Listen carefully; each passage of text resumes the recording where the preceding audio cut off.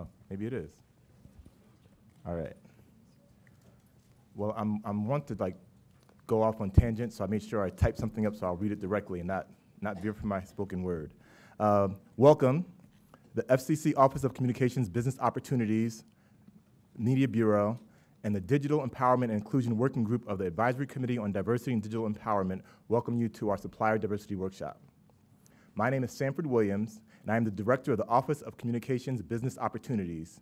And it is my pleasure to say a few words about our next speaker, Chairman Pai. And there's no pressure because he's my boss, so, but, you know, I'll try, I'll try to relax. Um, Ajit Pai joined the Federal Communications Commission as a commissioner in 2012 and was named the chairman of the FCC in January 2017. The son of immigrants from India, Chairman Pai is the first Asian American to head the agency. During his tenure, Chairman Pai's top priority has been to close the digital divide and connect all Americans, regardless of race, gender, religion, or sexual orientation, with digital opportunity. Consistent with that objective, Chairman Pai last year formed a new federal advisory committee, the Advisory Committee on Diversity and Digital Empowerment, to provide advice and recommendations to the Commission regarding how to empower disadvantaged communities and accelerate the entry of small businesses, including those owned by women and minorities, into the media, digital news and information, and audio and video programming industries. The committee held its first meeting on September 25, 2017, and one of its recommendations was that it work with the FCC to hold a workshop on supplier diversity, hence our presence here today. I thank Chairman Pai for his vision and for his support of the committee and for this workshop. Please welcome Chairman Pai.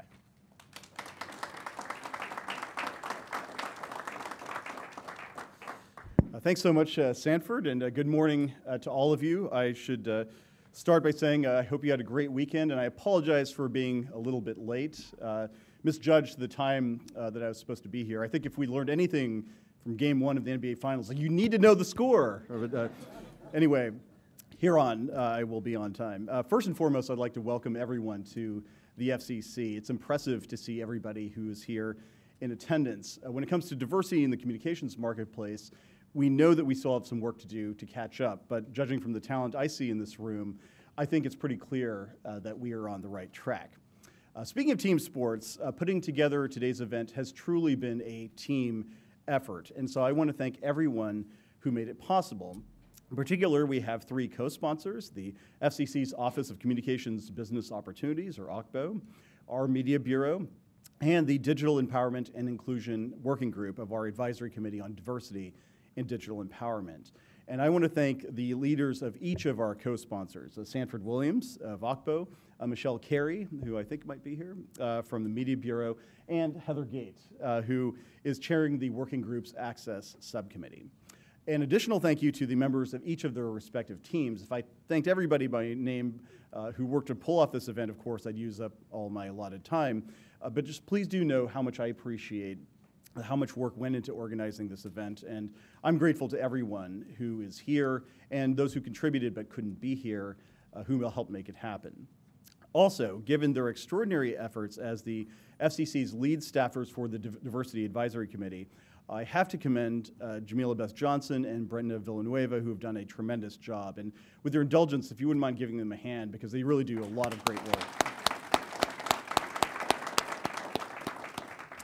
Uh, finally, thank you to all of our panelists here for uh, volunteering your time to be here today. Today's event is only possible because of your participation in these discussions and one-on-one consultations, so thank you for that. Uh, we have a remarkable turnout from industry, and I think it's for good reason.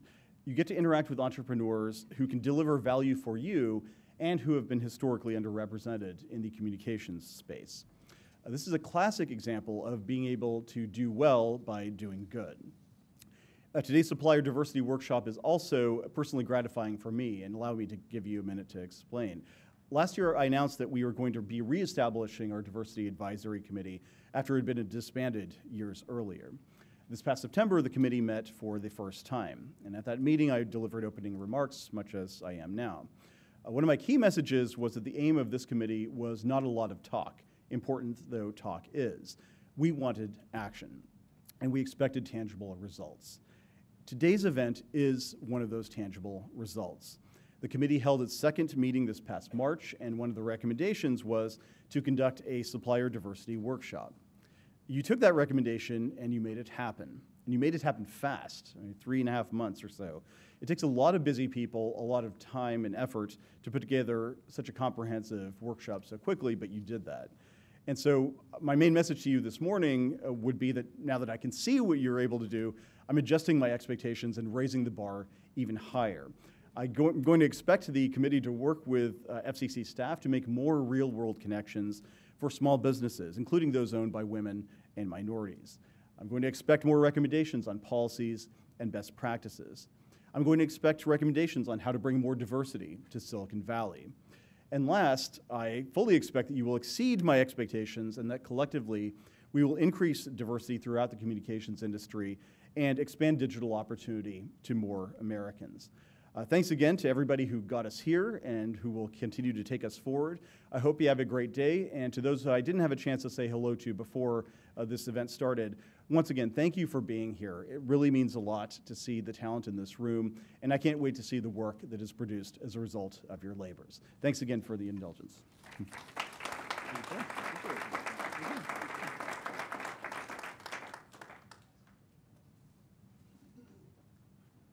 I'm back. This time with my welcome remarks. Thanks, Chairman Pai. We really appreciate your time and commitment. This would not have been possible without you, so thank you. Welcome to the Supply Diversity Workshop. We will have a few brief welcome remarks and then proceed to the first panel with Dr. Ron Johnson and the fine folks we see sitting here. But first, a few housekeeping notes. Everyone participating in a one-on-one consultation this afternoon, please sign in with John, John Macris over there, uh, by 2.15 p.m. Um, I should also note that the FCC will be active on Twitter. We have a hashtag supplier diversity, so if you're on Twitter, check it out. And if you want us to retweet something or include your Twitter handle, um, we have a social media person around somewhere. I'm not sure where they are. Um, Celeste, do you know the social media person? Okay, Celeste over there. so you'll see her. So we were trying to, you know, be, be, be potent and, and, and be, be current. Um, but we aren't on Snapchat or Instagram, so I'm sorry for you tech savvy folks to do that stuff, but we're starting. Twitter's good. Twitter's a good start. Um, we're also live streaming this on the FCC website. Um, lunch today after the second panel is on your own. We have a cafeteria in the building. Um, we have a few options around the corner. We have pizza, Potbelly, a cafe, a Starbucks, and also L'Enfant Plaza. There's only an hour for lunch, so you want to try to go as quickly as you can because uh, it's getting in and out of security. And we're going to have some folks direct some people to lunch later um, so after the second panel, we'll have some folks going to Potbelly, some folks going other places. So um, just ask if you need, need to buy some lunch. Okay, now my specific remarks. They're going to be brief, I think. Um, I enjoy using quotes and music lyrics to illustrate a point. My family and I love music. My colleagues know that. I can be kind of irreverent, but I said I should behave in this form, uh, so I won't get too crazy. But I have to be true to myself, so um, I'm going to use a quote from Alexander Hamilton. You know, it's kind of safe, right? You know, uh, Alexander Hamilton, uh, more specifically, a line from the play Hamilton by the genius playwright Lin-Manuel Miranda, which I love. My youngest daughter and I listen to the soundtrack constantly. I could probably like recite the whole tunes and all the raps and stuff, but I won't do that here. But great soundtrack, so so get it if you haven't seen it, heard it, and go see the play. But the lyric that I picked is, um, "I am not throwing away my shot" from a song called "My Shot." fits in with the basketball that the chairman mentioned earlier. Uh, but the reason why I mentioned that song was that um, I'm passionate about this workshop and the opportunities it presents. And this lyric reminds me that this workshop may be someone's shot. I hope this workshop is a shot for many companies and individuals to make connections and to follow their dreams. On a different note, I want to note that Linda Brown, who was at the center of the seminal 1954 Brown versus Board of Ed Supreme Court case, died a couple months ago. Brown versus Board of Ed established that the doctrine of segregation was equal, but was not legal and not equal. Despite the strides we've made as a nation since 1954 on issues of race, gender, and other areas, we still have a ways to go. Now, how many of you have favorite sports teams or favorite movies? I'm sure you do, right? Okay. Um, I know you probably don't care about mine, but I'll say it anyway because I'm up here. Um, anything UVA, University of Virginia, Wahoo Wah, that's me. My family all went to UVA. I like them. Uh, Yankees, Lakers, Giants, you know, those are my teams. I know Morris family in my group, they like the Boston Bruins, but they're cheering for the Caps now, right? Okay, Caps fans. Uh, but we all have our favorite teams and favorite movies and things we like. When people root for their favorite teams or enjoy a great movie or music or work of art, they don't generally care about the economic status, the ethnicity, the color, the gender, or the orientation of those they cheer for. So why are we as a society still significantly affected by these factors when it comes to business, education, and many other areas? There are a variety of systemic and individualized nuances that contribute to this problem. But I think it is our duty as a community to address these issues to the best of our abilities. If we are truly going to live up to ideals of our nation, we must be intentional and constantly strive to create equal opportunity and equal access for all. I hope this workshop is part of that process. Thank you for your time. And next is Heather Gate, Chair of the Digital Empowerment and Inclusion Working Group.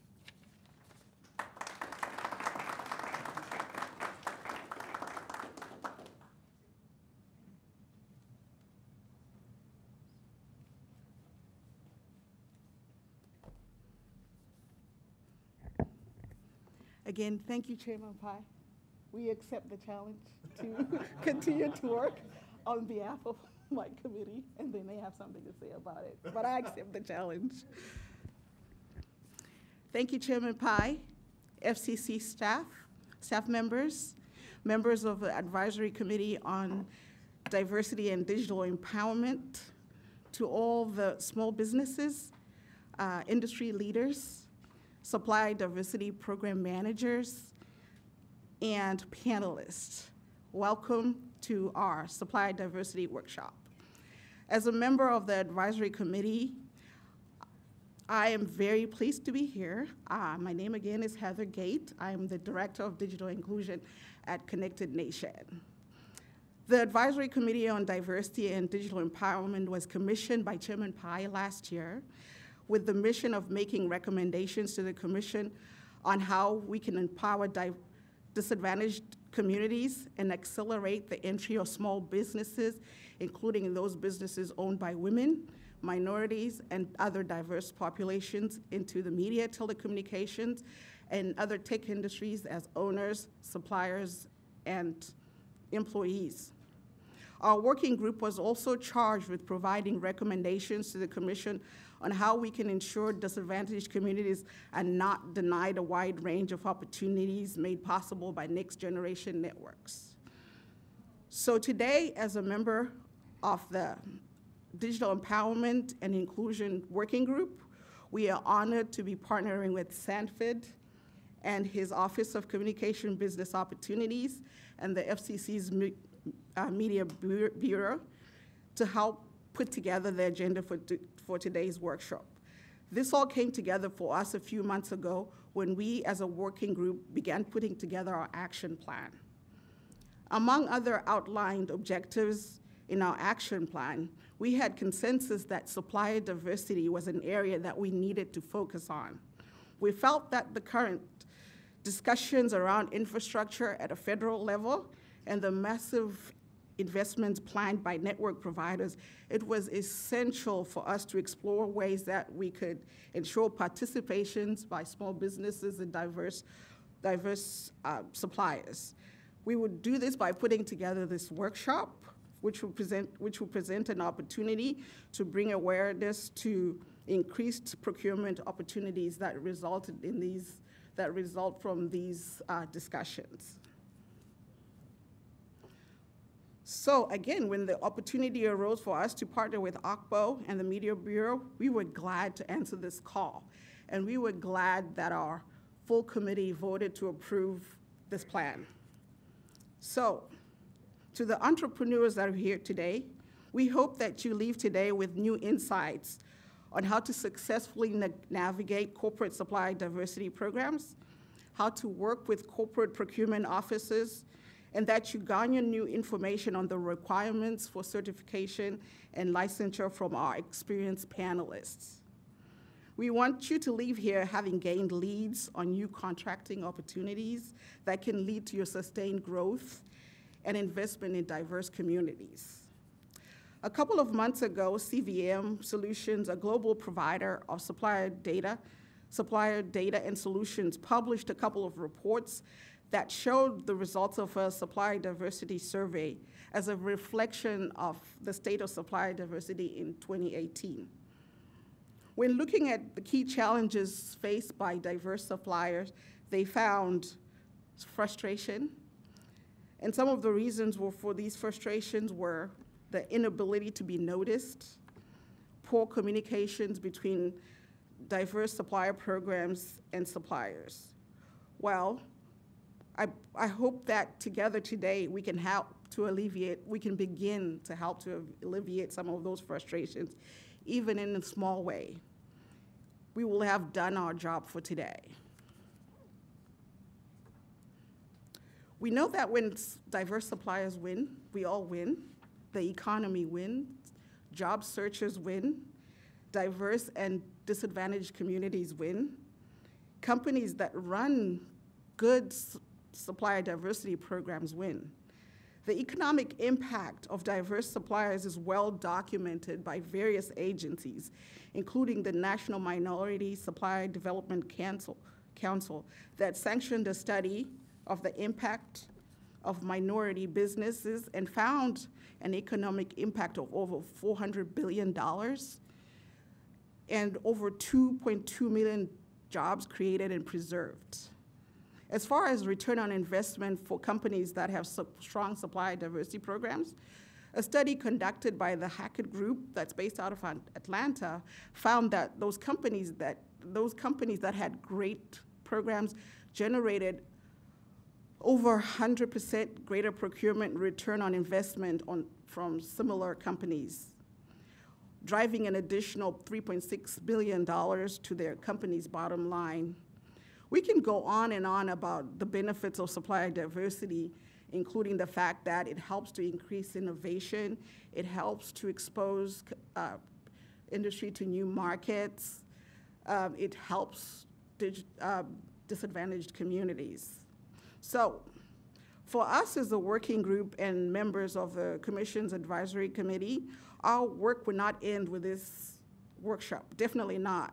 This is a beginning for us in helping to reinforce the importance of di- diverse suppliers and ultimately make recommendations to the FCC on continuing to use the Commission's bully pulpit to cover issues experienced by supplier diversity, by, by, uh, by, by diverse suppliers, and to work on addressing what the benefits of having them are. In conclusion, I would like to recognize all the OCBO and Media Bureau staff members who have bore the gr- grunt of getting this event together. Thank you, Sanford, and thanks to your team and the Media Bureau. I would like to work to thank uh, my working group members who from day one have shown, shown a true commitment to helping move the needle on this important matter. So um, I won't, I, would you raise your hand if you're a member of the, our working group so you can be recognized? Thank you. And I would like to echo the chairman's um, recognition of our designated federal officer, Jamila Bess Johnson, and Brenda Villanova. Thank you for your guidance and helping to keep us in line.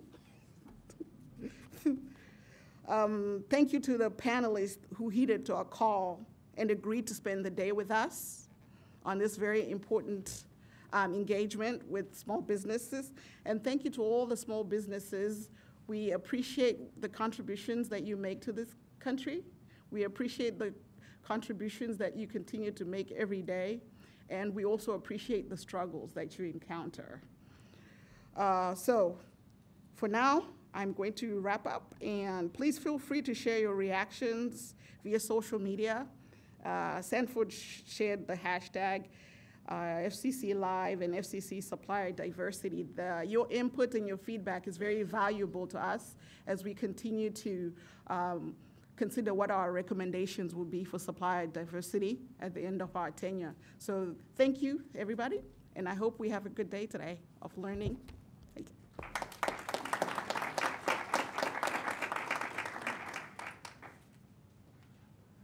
And next is Rudy Brioche.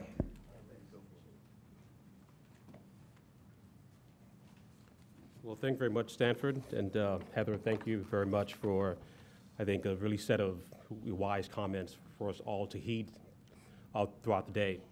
Good morning. And welcome to the 2018 Supplier Diversity Workshop. And congratulations to Stanford and his team, and his very committed team here at the FCC for tirelessly working to put this effort into reality. Organizing an, an an event like this for businesses to come together to talk about how they could connect, how they could actually develop innovative businesses, products, and to more importantly, develop some form of economic basis for broader, diverse communities throughout the United States is an important and a compelling interest for the United States. And compliments to the chairman for recognizing that diversity is an essential part of this communication technology industry. At Comcast, we take it very seriously. Each year, many companies like Comcast and other companies who are seated here as part of the first panel, recognizing that being part of a diverse community and searching for diverse suppliers makes good business sense. It brings value to our business. It allows us to partner with innovative business leaders. It allows us to expand business opportunities for diverse-owned businesses. So through all these outreach efforts, these outreach efforts allows us to build our capacity as a business and to grow sup- supplier diversity pipeline. The pipeline is extremely important because not only is it important for us to engage with the businesses of today, the question is, can we also develop the process for us to help develop diverse businesses in the future as well? At Comcast, we believe that, based on our learnings, that diverse suppliers bring value to the company, not just through their service offerings, but also by creating opportunity for economic growth in diverse communities throughout the United States. Building these partnerships with diverse suppliers help us address the company's evolving needs and also contribute to the economic growth and job creation a wide array of communities throughout the United States, whether it's women-owned businesses, minority-owned businesses, LGBT, veterans. We believe that diversity doesn't stop uh, at any single place. Diversity requires us to search out in all corners of the globe. So since 2010, Comcast NBC Universal has spent over $16 billion in diverse tier one and tier two suppliers.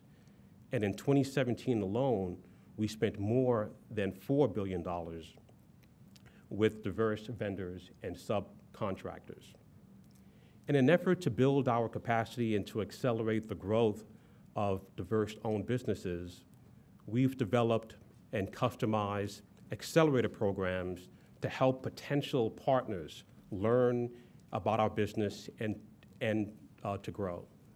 And in so doing, that helps those same businesses interact with other communication and technology companies like the ones we have here on the first panel, and many others as well. And later today, we have the one-on-one consultation periods. It's a time when we could actually engage and have a chance to start to develop these relationships.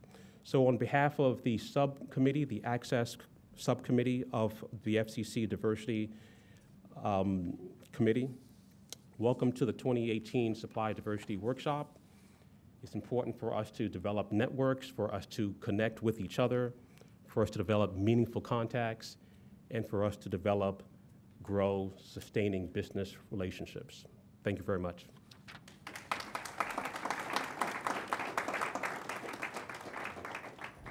Thank you, Rudy. And we're going to flow right into our first panel with Dr. Ron Johnson. Dr. Johnson, take it away. So good morning, everyone. Can you hear me? Okay, good morning to our visitors and guests and to the staff here at FCC and to all of our panelists who've joined with me today to talk about a very important topic. I know it's important because you're here, and I know it's important because the FCC decided to stand up this event today. So thank you, Director Williams, for your remarks uh, and for your support and the support of your team uh, in putting this very important and timely event together today. Uh, thanks to Heather and to Rudy for their remarks and their support of these activities and all of the things they do to make diversity and inclusion a part of our everyday uh, way of living. Uh, As we, we all know, consumer appetite for faster and more reliable and more expansive services has progressed to unforeseen levels in the last few years. The insatiable appetite continues to challenge service providers to maintain pace with this great demand that consumers have. And nowhere is this more evident than in the advent of 5G and the consumer's anticipation and desire for services of convenience, services that heretofore were not available to them, uh, and certainly will make life um, as consumers much, much better for all of us and for all of them. So as we look at research and design engineering and distribution and infrastructure build-out and OSS, uh, all of these offer unprecedented opportunities for businesses, small and large businesses across the landscape.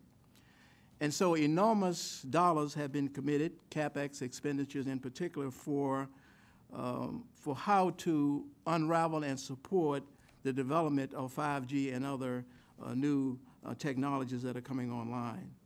And all of these dollars will add great opportunity for small and large businesses to participate. And so today we would talk, like to talk about uh, if there are uh, opportunities for small and diverse businesses to participate, we want to be certain that there are few, if any, um, impediments, and that all of these businesses will have an unfettered opportunity to participate, to compete, and more importantly, to win opportunities with, with my, uh, my panelists today. And I'm sure they have uh, great history in providing opportunities for diverse businesses, and we're going to explore more of those today.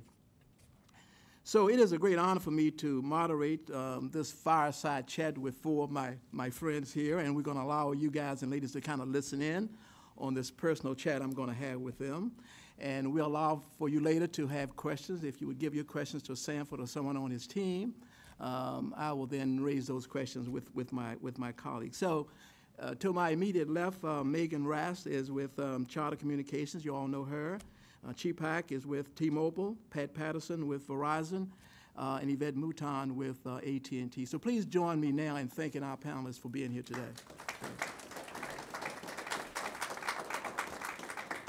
So, so this, this brief chat, uh, we have about, I think, 45 minutes, will center around procurement opportunities for diverse suppliers. Uh, and in doing so, we will explore four of the most impactful aspects of procurement best practices um, in diversity and inclusion. Number one, how companies define supplier diversity and the requirements suppliers must meet to conduct business with these companies and with others. Number two, the commitment of large companies to the search for diverse suppliers uh, and how to get um, contracts awarded to them and to identify the opportunities uh, for them. And number three, a commitment from senior executives and sourcing representatives from these organizations uh, that, uh, so that they will identify the impact of future infrastructure investments on the supplier market, and to be certain that diverse suppliers are included in that total process of identifying opportunities, competing for opportunities, and in the final analysis to win uh, these new opportunities. And then prescriptively, number four and last, and prescriptively, their views of how diverse suppliers should navigate the competitive procurement process to secure business opportunities uh, from their prospective companies. And so I would like to start this out with asking uh, if they would like to have some opening remarks, starting to my immediate uh, right with Charter, uh, Megan Rast, um, up to no, let, no more than two minutes if you would like to have some comments for our audience, please. Sure, I'll, I'll keep it briefer than two minutes. Uh, my name is Megan Rast. I'm the Senior Manager of Supplier Diversity at Charter Communications. I'm really excited to be here at Charter. Uh, with our merger acquisition two years ago, made a very large commitment to diversity and inclusion. I started at the company a year and a half ago, and, and we've been doing a lot with our supplier diversity program. So excited as the questions go along to give you more insights into what we've built. Good afternoon, Cheepak with uh, T-Mobile, Supplier Diversity Senior Manager. Um, Been with the company almost uh, 12 years in total. I serve on our NMSDC uh, Regional Council um, as a board member. I'm excited about today. Looking forward to, as uh, Chairman Pai mentioned, not just the talk, but how do we get some tangible action from this? And I hope to impart some of my experience that we've had and show T-Mobile's overall commitment to supplier diversity and diversity inclusion as a whole. Um, So excited about the day. Thank you. Good morning, everyone. I'm Pat Patterson from Verizon, uh, Manager of Supply Diversity. It's a pleasure to be here this morning with everyone. Uh, I look forward to sharing and also learning from, from some of you and also some of my panelists here as well, some of my peers in this industry. Um, it, at Verizon, uh, we take this very, very seriously. Uh, we start at the top with our CEO, Lowell McAdam. Uh, he's personally involved with it, and uh, it goes all the way down. So, again, it's a pleasure to be here, and I look forward to this morning. Good morning, everyone. Come on, let's get some energy. Good morning, everyone. All right. All Well, right, yeah. Thank you so much for this wonderful opportunity to participate in today's FCC Supply Diversity Workshop panel. And we're also excited about the matchmaking sessions this afternoon. And in keeping with the sports analogy, we want you to bring your A game and hit me with your best shot when I meet with you this afternoon. In fact, AT&T, we're doing 16 sessions. My colleague and I, Stephanie Bates, will be doing 16 matchmaking sessions. So this is a really special year for AT&T because we are celebrating our 50th, our 50th anniversary in supplier diversity. In 1968, since 1968 rather, AT&T has spent approximately 158 billion dollars with minority, women, service disabled, and LGBT businesses, which helped to spur a legion of new businesses in commercials, um, com- communications, and technology, rather. We have been in the forefront to help launch diversity business organizations and providing resources for the ecosystem and supports diverse businesses' success. We continue to support supplier diversity at AT&T because for over 50 years, we have recognized and demonstrated that it actually makes us a stronger company. But most importantly, we're looking forward to 50 more years of new progressive initiatives to continue our role as a leader in the supplier diversity industry. Thank you. Thank you, thank you. So it has been said, um, particularly from folks like myself who are engaged in diversity and inclusion from an academic perspective, is that uh, it's often like a special event. It's like a big dance. So diversity gets you invited to the party, but inclusion asks you to dance. You, you get invited, but then you have to dance once you get to the party. And so I like to follow up with the comments that you made, um, Yvette, about uh, AT&T's new diversity program vision. Um, you guys have done wonderful things in the past, but let's hear about some of your new visions that you're working on right now. Well, thank you. Um, That's a great question because we are so excited to announce our stellar supplier diversity program vision. Our new program consists of three pillars, supplier diversity and inclusion performance, education, business, and fostering programs, and investing in educational foundries. Our new vision is in the formulative stages. However, the takeaway is that AT&T's outcomes will go well beyond our spend with diverse suppliers. Indeed, our state-of-the-art vision will include meaningful and measurable impacts on both diverse suppliers, suppliers rather, and communities. The first wave of the future will be diversity, diversity and inclusion.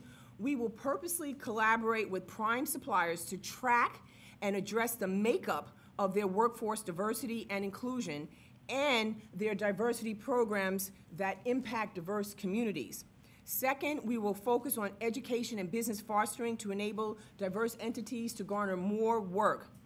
AT&T will work with private equity firms and our prime suppliers to create enhanced opportunities. Specifically, we're going to be looking at barriers to entry such as access to capital. Furthermore, we will revisit AT&T's diverse suppliers criteria. We're going to look at our RFP, RFP requirements for diverse spend and other factors that will enhance our supply diversity program. And third, we're going to invest in educational foundries to build diverse businesses from the ground up in new growth areas. Hmm. Thank you. Oh, yes. Well, those are very impactful things that you're doing. And I'm curious as to whether or not your three colleagues are doing similar things. I know all of you all have very progressive programs at your organization. So, um, just in the notion of fair time, would you all like to speak to anything innovative that you're doing that you want to share right now with us? Anyone can, or, or no one? Anyone would like to share anything? Um, Sure. Um, I'll share some things. Um, One of the things that we've kicked off, um, and I I may be jumping ahead a little bit, but, but that's okay. Um, One of the things that we've kicked off uh, earlier this year is a, is a program called EDGE, which is Educate, Develop, Grow, and Enrich. And that's a program that we started as a, as a, as a key um, mentoring program for diverse suppliers within Verizon uh, that we partner with currently. Uh, in addition to that, what, what part, what that makes up is it aligns some of our current diverse suppliers with key executive leaders within Verizon. So many times you may have uh, mentoring that are done by some of the supply diversity folks. You may have some done by uh, you know directors, senior managers, and, and things and, and such. The, this program aligns vice presidents and senior vice presidents directly with the CEOs and leaders of these diverse businesses that, that we currently partner with. So far, we've seen a lot of success with this. So we're planning to, to roll out a second phase later this year. The first phase, we had six suppliers as part of that program. This phase, we're looking to add a lot more. Uh, in addition to that, we also have what we call a Premier Supplier Academy. Now, this is for diverse suppliers that are not currently doing business with Verizon, but we're involving and introducing to the key business leaders within Verizon for procurement opportunities.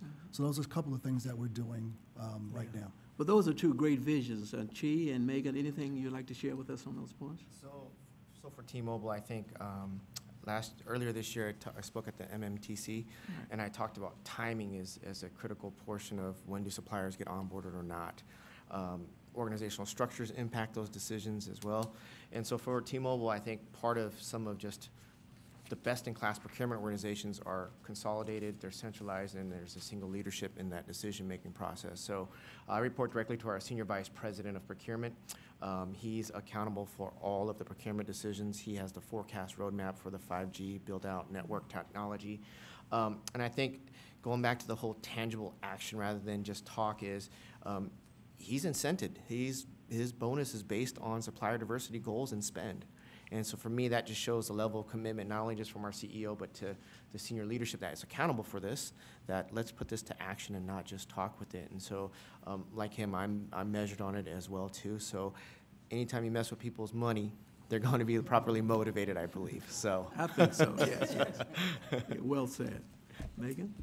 So as a relatively newer program, I, I, I think it, we recognize the importance of investing in developing diverse suppliers because that's a really key component of their ability to compete. And so even in year one, uh, the Tuck Executive Education at Dartmouth has a really um, top-notch program for diverse suppliers. So even in year one, we invested in uh, scholarships and, the, and internally, and this speaks to kind of the charter culture.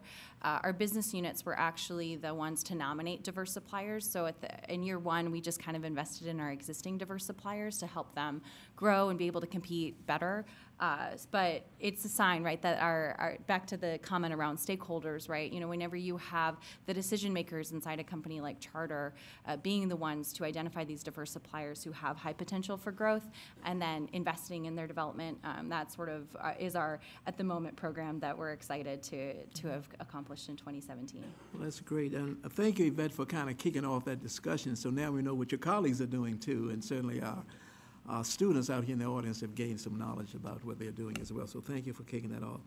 So Megan, let's circle back to you. Um, you and I had some conversation about how your company prioritizes across the enterprise this whole notion of diversity and inclusion. So can you talk a little bit about how you've been able to do that, prioritizing? Yeah. Yeah, I'm very excited to talk about it because I think it's it's. I guess today's an opportunity to kind of go under the hood a little bit of things that are happening internally at Charter that aren't always quite as visible. So I mentioned at the time of our merger acquisition two years ago, we made a large commitment. Um, that's a memorandum of understanding. It's publicly available. Um, it was sort of our starting point with diversity and inclusion. Uh, certainly, I'm here today because I represent uh, the supplier diversity program. Uh, it had bigger commitments than procurement. It also included workforce philanthropy and programming commitments for diversity inclusion. Uh, but what I think has been uh, exciting to see within Charter is the level of commitment, the governance that went along with that. So um, we have a chief diversity officer who started after that MOU. Certainly, I started after that MOU. Uh, but really, from a governance standpoint, uh, we have two uh, councils or committees. One is an external diversity and inclusion council. So a lot of the signatories of that MOU are actually advising us as a company for how to not only implement but also progress and, and continue you know investing in that commitment. Uh, we also have not required in our mou but just a really good best practice um, an executive steering committee for diversity and inclusion. So supplier diversity is one of the aspects that reports on, into that. It's chaired by our ceo it has all of uh, his direct reports so all of the heads of every business unit. And they're the ones who have the responsibility and accountability meaning specifically for supplier diversity they're the responsible and accountable for a supplier diversity goal or a spend goal. So um, why is that important, right? As a diverse supplier, I think you'd really want to make sure that our companies like us you know, aren't bifurcating the, the accountability of a goal from the decision maker, right? So when you have um, all of our, our heads of business units engaged in the program, engaged in the goal setting, responsible for that goal setting. I know my, my uh, peer Chi mentioned, you know, when, when rubber hits the road, right, when you have a, when you see that gap, it really inspires action. Um, and so while we're in process, we're, you know, a relatively new program, I think we've been doing a lot to invest in building it out in the right way and building it out in a way that is integrated into the way that we operate, so. So the issue of enterprise governance is certainly really important, and, I, and thanks for sharing those comments with us. But I would like for the other panelists to talk about the structure in your organization. Do you have a similar, I know you have a similar commitment, but can you talk briefly about how your unit uh, interrelates to the other units in your organization? Um, Chi, you want to talk about T-Mobile Yes. right quick? Yeah, Okay. so I think um, for T-Mobile, when we talk about diversity and inclusion, um, and supplier diversity is part of that in terms of the golden thread of what it stands for. I think it's, we have to look at it from a holistic eco connection between it. Um, Our CEO um, launched uh, an amazing program for veterans, and so those that are served, thank you for that. Um, You get 50% off for the rest of your life, and so that's our, our little way to say thank you. Goes back to the Super Bowl ad of our little ones, if anybody saw the Super Bowl, that little commercial. Um, And, and, and I bring all this up because it's not just a uh, segregated silo of supplier diversity, DNI, and then the uh, different component of what we stand for as a company, but it's just part of our overall makeup because we recognize that at T-Mobile, our customers are the most diverse among the carriers, and we have, we understand that in order to serve them, which is our number one priority, we must um, be able to have the lens in which to support them. That comes from leadership, that comes from uh, the employees that serve them, that comes from the suppliers that support them to bring them the best service. So for us, it's a holistic ecosystem. We work closely with our DNI, our government affairs, from a um, Capitol Hill uh, policy and government perspective, and then also just from our HR, from our recruiting as well. So at the end of the day, we want to have an economic impact to those disadvantaged, and not only just through a supplier diversity, but also um, even the military hiring commitment that we just did as well too. So um, a lot of what we do is really action-based and just really try to deliver, um, ultimately at the end of the day, for our customers, what they really want, so. Yeah. Well, certainly workforce development is a part of the conversation around procurement best practices. I think Yes. we would all would agree. Uh, Certainly Verizon, AT&T, uh, they're doing, I'm sure, similar things around organizational construct and how best to have your diversity units interact with your technology folks. So, Pat, you want to kind of weigh in on what you're doing, and we'll hear from Yvette? Absolutely. Okay. Um, Our Supplier Diversity Organization uh, is currently lined up within the Global Diversity and Inclusion Organization. Um, A number of years back, about three, four years back, we were part of the sourcing organization. Now, over the last six years, um, we've, we've worked with diverse suppliers to the tune of over $30 billion of diverse spend. And since we've been in aligned with the Global Diversity and Inclusion Organization, last year alone, we did over $5 billion with diverse suppliers. And I, I say that to, to, to stress a point that being part of the Global Diversity Inclusion Organization has given us direct access to our CEO and our C-suite. Uh, that's via our Senior Vice President of uh, Talent and Diversity. Um, she's part of those meetings every three months. Each one of our C-suite executives have or, or provided a dashboard, and part of that dashboard includes their diverse spend, their top diverse suppliers, where there's some gaps, where there's some opportunities. So because they're now involved personally, and similar to what, what my colleague Chi had mentioned earlier, um, it's also hitting everyone in their pockets as well. So when, like, like you mentioned, when, when you're hitting some pockets, um, sometimes action happens. Um, but even above and beyond where it's hitting them, this is what they truly believe, this is what they truly feel, this is what they truly support. And it shows in the numbers that we've, we've put across um, over the last few years. So um, we are lined up through HR, um, and it's been working well. Yeah. So performance and results kind of go hand in hand on this conversation. Absolutely. do. So Yvette? Well, at AT&T, we have a phenomenal supply diversity team. Uh, it's led by Jelena Bolden, who is a phenomenal director, and we have 13 employees strategically placed all over the country. We are located here in Washington D.C., in Texas, California, New Jersey, Georgia, and Illinois. And our team is comprised of different segments. We have supply diversity specialists, we have supply diversity advocates, we have a communications advocate, a governance and compliance specialist, and an analytics and report specialist. And we also collaborate with our sourcing managers, with our business units, and with the community to make sure we have the best-in-class supply diversity program. And again, there are 13 of us. Thank Yeah. you. Wow, 13, that's quite, that's quite a large number. So um, let's kind of change the conversation just a little bit, but certainly related to what we've been talking about all along. Um, So procurement best practices is the theme that we talk about all of the time. And so from a diversity and supplier perspective, the jobs that you all have, uh, have you been able to have conversation with other managers in your organization, particularly on the procurement side, about procurement best practices? And uh, to the extent that what you do fits into those new paradigms that your organization, anyone can weigh in on that uh, first. Uh, You want to start, Pat, with the Yeah, I conversation jump in on about that? Um, It, it- it definitely, it works well for us. Um, I mentioned earlier that we're part of the uh, Global Diversity and Inclusion Organization, but we sit within our sourcing and procurement peers. Every RFQ we're involved in, um, the contracts that we let all have diverse participation goals. They all have targets for all of our suppliers. Um, Everyone on the sourcing team is involved with that. Um, It goes back to our legal organization as well.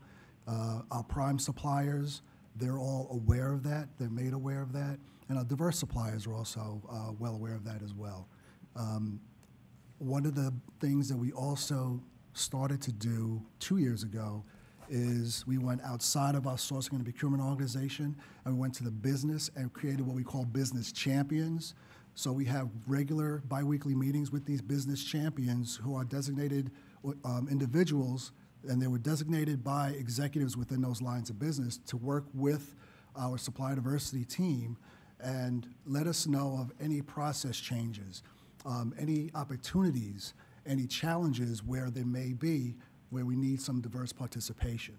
So it, we, it works well with us sitting with sourcing, being part of global diversity and inclusion, and the results are starting and really paying off. They're showing. Okay, anyone else, with, uh, Megan, you want to Um, And so I, I also sit with, within procurement, um, and we have a little, sort of the opposite slice of, I sit within procurement, uh, but we have a heavy dotted line. I work very closely um, with our diversity inclusion team. I think from a best practice perspective, um, the best I, I sort of talk about supplier diversity as the best way for me to accomplish what I'm trying to do is to get out of the way as quickly as possible, meaning I want to vet a diverse supplier, make sure they are who they say they are, make sure I understand enough about their product, your product or service to connect you to the right sourcing manager. But at Charter, we actually invest in developing the sourcing team to be a part of the supplier diversity program.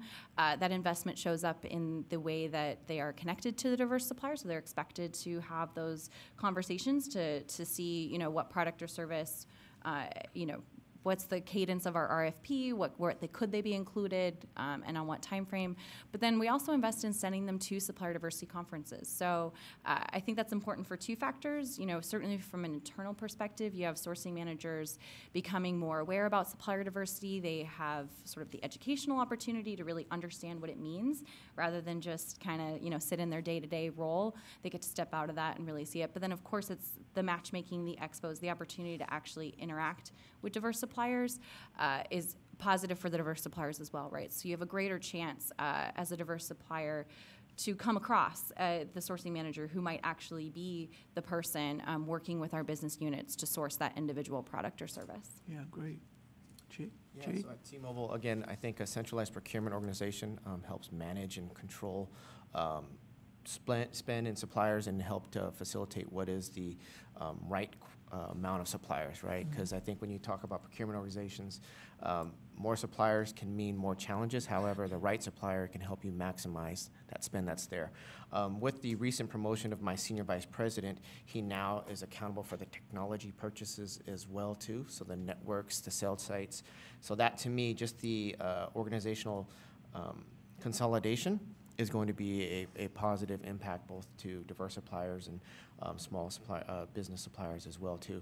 So the recent change that happened, instead of a commodity manager working horizontally, now sourcing managers work vertically. So a team of procurement or sourcing will support a VP of marketing.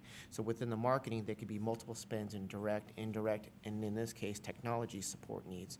And so not only is the sourcing manager incented and motivated because they all, we all report to the same vice president, but they're also educating the business unit as well about the importance of not only sourcing in the right way, but to maximizing the spend, but also having that narrative and that conversation about including diverse suppliers. Because at the end of the day, the business unit is the one that's saying, here's my need here's that widget, here's that service that I need. The sourcing team goes out and gets it for them. So to educate both the business unit, who's the budget owner, the sourcing team that goes and procures that, and then the team that looks at the overall spend that happens with it, um, it is it is yielding some significant um, spend, and obviously we still have some work to do, but I think that's one of the best practices that we have. Yeah, great, great. Yvette, yes. Our focus is primarily on our lofty goal and also our prime supplier program. Uh, we've continued our extraordinary legacy of supply diversity spend, and our inclusion goal is 21.5%. However, we're elated to announce that in 2017, the diversity spend was 25.2% of AT&T's overall spend, which represents 14.4 billion in spend with MBEs, WBEs, SDVBs, and LGBTEs. And notably, this is an, a $181 million increase with diverse suppliers over our 2016 results. But since 1989, we've had something um, known as the AT&T Prime Supplier Program, which has been really instrumental in helping our prime suppliers increase their spend with diverse suppliers. Our diversity managers collaborate with our prime suppliers to create meaningful goals and develop detailed plans for utiliza- utilization of diverse suppliers to encourage uh, development of innovative solutions. You'll hear me use that word innovation a lot today for tracking and improving their results. So on a monthly basis, we actually monitor the performance of our prime suppliers and we identify any of those primes who are underperforming so that we can work with them to create creative actions and solutions. And in 2017, our Prime Suppliers Program focused on increasing both overall results and the number of contracts awarded to our diverse suppliers. And in 2017, $1.7 billion of our Tier 2 spend was with diverse suppliers, and 48 of our prime suppliers actually received something known as a Crystal Award, which uh, rewards our prime suppliers who exceeded our 21.5% lofty goal. Yeah. I mean, this is great. I, I certainly have a better understanding of internally how your organizations um, operate from a governance perspective and from a procurement best practice perspective. I think our audience will probably want to know where is the business and how we can get some, you know? And so we, so let's kind of turn the conversation about, uh, around um, how our businesses should approach your organization. So, um, so what would you um, say would be the best methods for diverse suppliers to navigate your organization now that they have a better understanding of, of your organization? Uh, how best can they now come into your organization and, and uh, see opportunities and win opportunities and compete for opportunities? Who would like to kick this off? Che? I'd like to say is um, prior to engaging any one of my peers or any supplier diversity office within a company that you're um, bidding to compete for, is do some pre-homework. Your standard, this is my capabilities material, 40,000 level, here's what I do, it's not going to cut it. Um, we get 500 of those every day, right? What's going to differentiate you? What is the service unique niche that you can bring and offering? Um, just what I call is like the pre-homework. Get that done. Understand who your audience is. Understand who that point of contact is. Is it procurement? Is it a supplier diversity advocate? Because guess what? If you start speaking T's and C's with a supplier diversity person, you're going to lose them, right? And then some, if you're speaking with the sourcing folks, um, they may not be as versed in the supplier diversity narrative. So understand who that is as well too. And I really do believe taking that that time to do that pre-homework, understand that company, understand the industry they're in, understand where are they investing, Where are they going as a company? What's their mission? Do they have a supplier diversity program? Just doing those basic things will get you a lot further away. And then I'd say um, timing. Timing as well, because I, I see a, a gentleman over there who we were on the MMTC council uh, or conference uh, panelist uh, earlier this year. And at that time, my senior vice president wasn't accountable for the network side. Now he is. And so we can restart that conversation, right? And so timing is also important. So um, I'd say pre-homework and timing and patience with that. Good. Who- in- Pat? I was going to say, sorry, um, just, I mean, to build on that, I think it's the most compelling diverse suppliers actually approach supplier diversity and or the sourcing managers with the identification of the problem they're helping us solve, mm-hmm. right? So if you can articulate that, kind of, if you can take your capability statement and, and you know, you obviously are experts at your product and service, and oftentimes you're going to interact with someone like us who are supplier diversity professionals, right? So, so we're, again, kind of to connect that, we're trying our best to connect to you with the sourcing manager, but really, when you can, you when you say, "Hey, I know your business well enough, right, Charter or you know any of my peers, that I know you're having this problem," um, it's really compelling um, statement, and it actually will will get you kind of forwarded on and, and you know increase the potential versus just here's my capability statement. A- Absolutely. Um, One of the things I like to say is, do your best to know what's around the corner before you get there, all right? Um, Where are we going? How can I be involved? How can my partnership with the corporation take both of us to the next level? That, that's tremendous. And as, as my peer here said earlier, innovation. Um, I was going to say the same thing. I'm going to be using that word a lot also. Uh, be very innovative, okay? Don't come in saying, what do you need? No, we're looking for someone to come in and say, this is what I believe we need to do together to get you here and get me up to this next level. Okay, Yvette? Dovetail off of what my esteemed colleagues have said, you know, they say you have to hear something seven times before it sinks in, so I'm gonna tell you again. You really gotta learn, not only about what we're doing now, but what we're doing in the future. Yeah, yeah. Okay, because there's ever-changing global technology, you have to look to the future as well, and really understand the needs of the corporation and, and how you can fulfill those requirements. And again, the, the big word, innovate, innovate, innovate, you have to be willing to bring us new products and services that not only are innovative, but more efficient and more cost-effective. And then you have to be persistent and patient. Sometimes it takes years to garner relationships and business uh, with a company. And a lot of times it's being at the right place, the right time, meeting the right people, like being here, okay? And then finally, we have a website, and it's www.attsupplierdiversity.com. I'm going to repeat again, nice and slow. www.attsupplierdiversity.com. And there's no ampersand between the two T's. Navigate the we- websites before you go on. And again, uh, I couldn't agree more with what my colleagues have said. Yeah. So as we, so, Chief, please, yes. Okay. You know, we're all family here, right? There's about 50 of us. We're all, we're all family in here. We're all related, We're yes, all related. Um, I think each and, each one of you have to look at yourself and your business and say, are you actually ready to land a Charter, T-Mobile, Verizon, AT&T? That's kind of a tough question. Mm-hmm. Do you have the passion? No doubt. Do you have the vision of what you want to take your company to? Sure. Right? You're the secret sauce. I get it. However, is your company ready to take that large step to scale? To be able to be competitive in the marketplace against the quote unquote big players in the space, mm-hmm. right? Because you can't look at it from a one time transactional activity.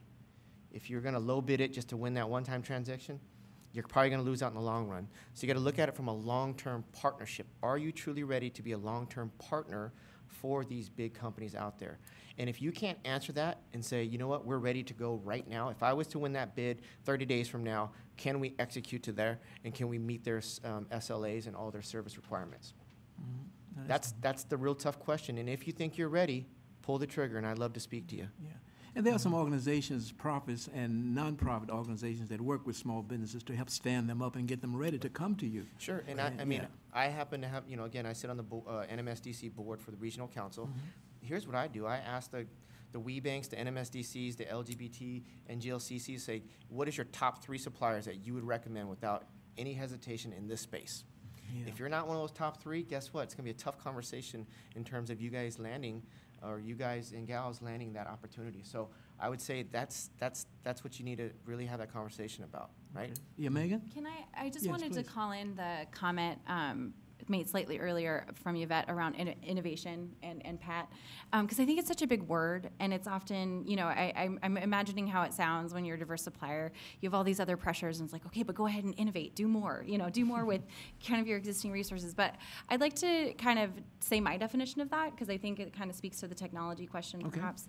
Um, we often talk about, you know, as companies, we are innovating, we're putting forward new technologies. I think there's also an opportunity as a diverse supplier to look inward with the uh, advanced use of technology, meaning, what do I mean? There's big data, there's artificial intelligence, there's virtual reality, there's all these opportunities now in the marketplace, and you're often asked, what is your differentiator, right? That's one of the questions you've heard from us, and it's one of the questions you'll keep getting when you interact with su- supplier diversity professionals. And so I've, I've started to see diverse suppliers who are actually taking the lessons around, you know, what's happening in our industry and applying them inside their companies. And it is a really powerful differentiator. I know it can be big and amorphous, but, you know, if, if you as a, a, a company have found an innovative use of technology to be cost saving within your own business, right? Or to have a differentiated product or service, that is something that, again, is really powerful, mm-hmm. differentiates you in these conversations and make the conversations a little bit easier to have with us for what it is that you're doing that's really interesting, innovative, and powerful. So that was just, I, Yeah. I don't want to just say the word innovation because I feel that we all use it and it's a great term and it's also a very opaque term and Yeah. sometimes. Well, yeah. no, I think that's a wonderful clarification of that, yeah. I think the audience would appreciate that as well. So prescriptively, we've talked about um, industry briefings as a way of getting information out.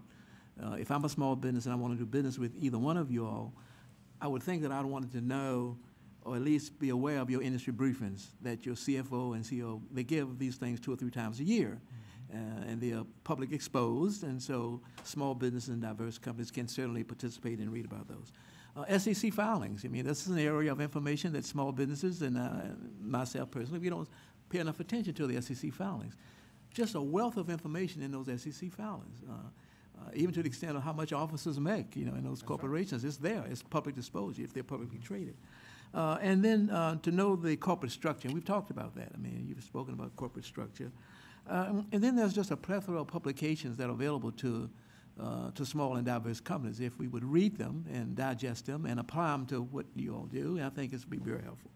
Um, And then building relationships. Uh, Megan, you talked about and others about building positive relationships uh, with your organizations is certainly a very important step. And so those are some prescriptive examples of how these companies can come to you all and be successful, uh, at least have a fighting chance and a level playing field to be successful. And that's really important. So um, one of the conversations has been around mentoring, mentoringship programs. And, and so um, within your organizations, do you have mentor, mentor protege-like initiatives that they're probably not called that, but do you have anything similar to that in your organization? And anyone can kick the conversation off, it's fine. I'll start. Yeah, okay, Yvette? Actually, there are three major programs that at and t provides, um, which is executive level scholarships to diverse suppliers, as part of our commitment to education. And in 2017, we actually sponsored three uh, scholarships were awarded to MBE and WBE programs. The first one is the Advanced Management Education Program, and that's in collaboration between NMSDC and Northwestern University. And that's a custom executive program created by the NMSDC in partnership with Kellogg School of Management at Northwestern University. And they provide certified, established, expansion-oriented minority business enterprise with skills and tools needed to achieve and sustain accelerated growth. We also have the Building and High Performance Minority Business Program, and that's at Dartmouth University. And that program is designed for diverse businesses who are committed to advancing their businesses' um, capabilities. And it's a curriculum that actually mixes strategy and operations to help owners leverage a value chain to, uh, to fulfill their advantages. And then the third one is the Tuck WBENC program, um, that's also out of Dartmouth University, and that's a strategic growth program for women businesses who are dedicated to the advancement and success of their business. That's a that's a six-day, extremely intensive course that's designed for WBEs and their executive teams to um, who are ready to plan and execute a business strategy that will elevate their company to the next level. And then finally, we have our own program. It's called the BGAP program, the Business Growth Acceleration Program. And last year, that was led through the JFK Institute of Entrepreneurial Leadership, uh, which mentored a select group of qualified businesses. And it's a hand-on learning approach that enables participants to immediately apply concepts they've learned. And there were nine graduates last year. And then finally, we have a plethora of all types of informal and formal mentoring. We will actually mentor people on the telephone. We mentor people face-to-face. Or we have mentoring during our matchmaking sessions. So I'm really looking forward to those matchmaking sessions because it gives me an opportunity to give feedback to people and mentor them. I look at their business cards. I look at their presentations. I listen to their etiquette. I really listen and give good feedback. So I can't wait to talk to you all this afternoon. Good. Uh, Anyone else would like to weigh in on that, on that part of this? Yeah, absolutely. Um, Matt? earlier I mentioned we have uh, a formal mentoring program called EDGE, Educate, Develop, Grow, and Enrich. Okay, that's one program we have where the senior executives are aligned with uh, diverse businesses that we're currently doing business with. And it's not to necessarily give them opportunities to grow within our company, but it's really to take them to a next to their next level within the industry. So it's not necessarily doing business with Verizon, but it could be doing business with anyone else out there. Uh, second program we have is a pre- Premier Supplier Academy, where the supply diversity team, the business and sourcing meet with diverse businesses that we're currently not doing business with to give them opportunities to do business with us. That program goes on for about a year or so. We continue to mentor them over time, and we meet with them over a period of time. Yeah. On top of that, we have a program called Hiring Our Heroes, where we work with veterans that are coming back home. And if any veterans are out there, thank you for your service and your families as well. Um, we work with the veterans coming back home.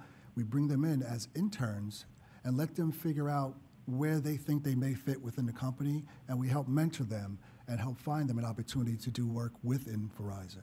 So that's just a couple of our programs that we're currently doing. And similar to what you were uh, just talking about, the supply diversity team, we mentor folks on a regular basis. The matchmaking, again, we do the same thing. I'm looking at business cards, looking at the websites, I'm looking at everything. Um, give you an example, um, uh, a number of years ago, I met with uh, a group of folks, and they met with me, and I'm dressed, this is a business meeting, and I'm dressed like this, and they showed up like they came out of a, uh, a concert, so to speak. Um, slouched down, not confident. You want to you, you want to position yourself like this is the one and only meeting I'm going to have with this corporation. I'm ready to do business. I'm stepping out there. I'm giving you everything I have. Let's go. Right. Good. Okay. Anything in addition to add, uh, Megan or Chi, anything different?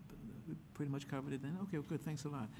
So, um, one of the um, impediments, I think, for small and diverse companies um, in trying to attain large requirements uh, at your organizations uh, is this notion of bundling. And we're not passing any comment on whether or not it's a good idea or bad idea, but to the extent that there is bundling uh, and first-tier opportunities, more than often, uh, small companies don't have the bandwidth to compete individually.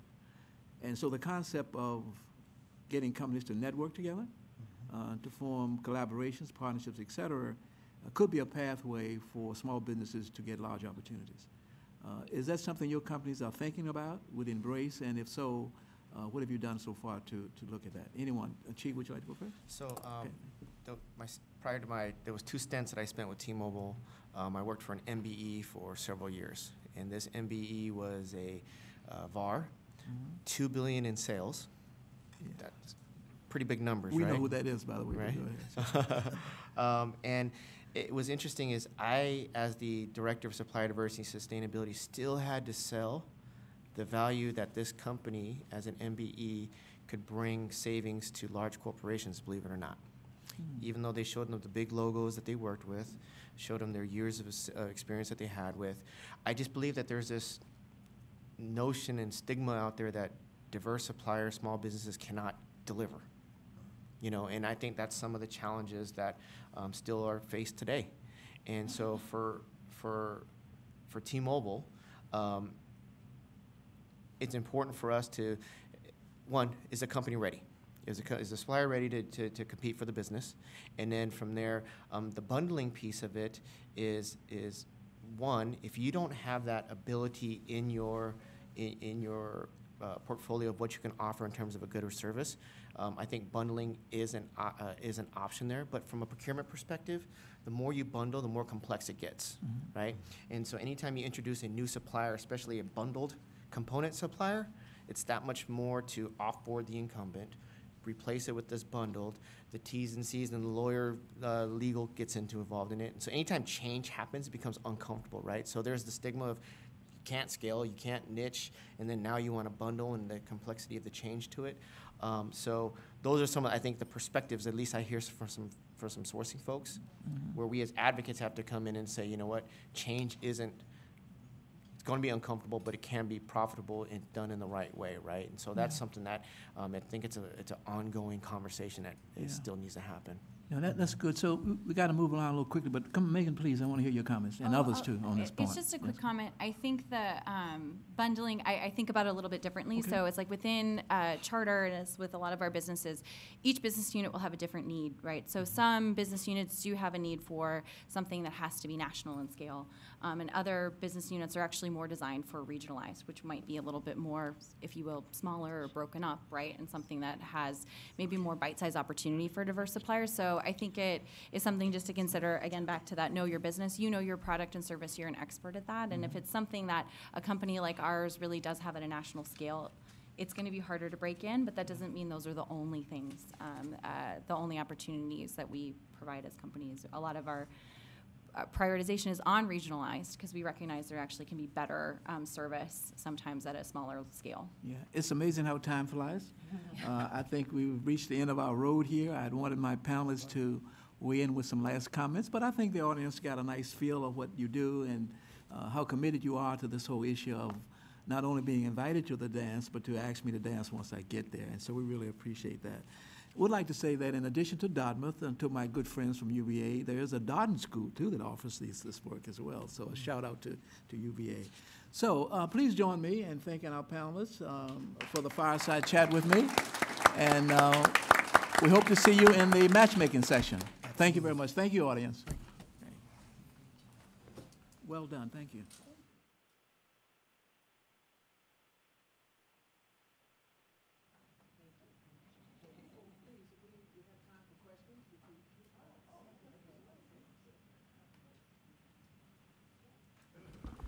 I think the notion was that we were done, but you weren't done, so we want to, we would- we would like to hear your questions. So who has a list of questions? Or they can go to the microphone with their question. Please, go right ahead. Who's first? Would you give your name and your organization that you represent? That would be helpful. And perhaps uh, if you could keep your question um, somewhat short and we, and have an elongated answer. Yeah, this is Prince Nair with Comdex. Uh, I just, I was just wondering, do you as a corporation track first-time minority supplier spend? Means suppliers that are working with your company for the first time. And the second question, I like the kind of educational programs that you guys have in place. So in order for any supplier to be uh, eligible for that, is there any criteria that you guys have, have as a company? Be good to know. So let's have one respondent, and if there's a different view, we'll have a second respondent. Is that fair? Or who would like to kick that, would like to respond to that? Anyone? Uh, From a tracking perspective, it, it's, it's difficult to say um, whether it's your first time or repeat because based on whether you renew in your certification or not is the way that we report our measurements. And so it's very difficult because if you can imagine tracking the recert versus non-cert and there's that enrichment process that happens. So at T-Mobile, we don't because it's just too much data intensive work that has to happen with that. Is that the general sense of all of y'all? Is someone has a Yeah, different this response? very, Pat? very Yeah. same, very same. Is- Um, but- but- If we've- if uh, we've Megan? helped, if we've helped a company certify, we track that, but that's just a yes, no, not a different. Okay, is there someone else would like to ask a question? Uh, Maurita? Hi. Hi, Maurita Coley from MMTC. So Chi, you mentioned that uh, sometimes suppliers need to be very honest with themselves and examine their um, business and see if they're ready for, you know, T-Mobile or Charter. So can anybody uh, give some tips as to how they might navigate that process safely? Like where would they start to even determine whether they were ready? And the second question is, does anyone do uh, any advertising procurement or advertising supplier diversity? Okay. So for T-Mobile, I would say is, um, as Mr. Dr. Johnson was saying, was you can look at the uh, FCC filings. um, see that T-Mobile just invested 600 million in, um, uh, excuse me, uh, 600 megahertz. 5G network rollout is a big thing. Um, if you're in the IT space or the uh, cell tower space, you're going to realize, well, there's retrofitting that has to happen. So those are the conversations I think that um, would need to be looked at to say, can, do you fit in that space? But then also, as a company grows, um, and there's this potential conversation out there about T-Mobile and another company, um, can you help in that space, right? So, um, you know, I think not knowing your business, I'd love to talk to you to see. And then, like our panelist said, there's a mentoring opportunity to see what those next steps could be to see if you're ready. And I And just, yes, yeah, sorry. It's like I, I think I took your question as is there a safe place? Because it can be intimidating. Um, so I encourage folks to always see supplier diversity as a, a safe place. Um, and then there, we all are members of national organizations. There's a lot of nonprofits for each organ, right? So NMSDC, I see Susan from USPAACC, um, WBENC, NGLCC. Those organizations do have a lot of supplier development opportunities, and they can again be a safe place. So you can actually, I think, get a lot of good feedback from working with those organizations. Anyone else? Yeah, I'd like to add that, um, with regard to like opportunities, uh, we have, uh, AT&T Mobility Turf Vendor Conferences that are coming up this year. Uh, basically, what we're gonna be doing is, uh, collaborating with primes and subcontracting opportunities for our AT&T Mobility and Broadband Network construction build-out. And we're gonna have these, uh, across the country in different regions because we have opportunities coming up for new site builds, wireless loop and bandwidth expansion. And then also, we're gonna have opportunities in the software development and software-defined networks and application development. So that dovetails back to what we were saying about, uh, and we're, we're strategically located, and we're at all these events, and we talked about it briefly before, but getting engaged and being active and building relationships with people, so, in these one-on-one matchmaking sessions where we can be very candid, diplomatically candid with you to tell you what you, how you need to improve. Mm-hmm. And AT&T has a major initiative with FirstNet. I think your investment was $8 billion, I believe, to that, and great opportunities for diverse companies to participate. Three weeks ago, your company had a seminar symposium on um, diverse opportunities in Yes, that's- FirstNet. Uh, Exactly. w- Well received and well done, too. Thank you. A- Any other questions from the audience? Yes, sir, your name and organization, please? Good afternoon. My name is Supreme Akil with Tech Go To Guys. Uh, I had a question about uh, once you, uh, for instance, the website, the AT&T Supplier Diversity. Once you register there, what are some of the factors that would set you apart from maybe the thousands or tens of thousands of registrants that you get? Anyone? I'll- Uh, I'll, I'll jump in. I mean, um, you can register, you can go to verizon.com forward slash supplier diversity, but I highly recommend that you attend forums such as this, um, the advocacy organizations we have out there, attend those forums as well, those outreach efforts. Um, you want to you want to be visible, you want to be you want to be present, you want to be seen, you want to meet with someone, because as you mentioned, there are thousands and thousands of suppliers that enter their information into the systems, into the databases, and that isn't necessarily going to set you apart from another one. We want to be able to see you, hear you, feel you, things like that.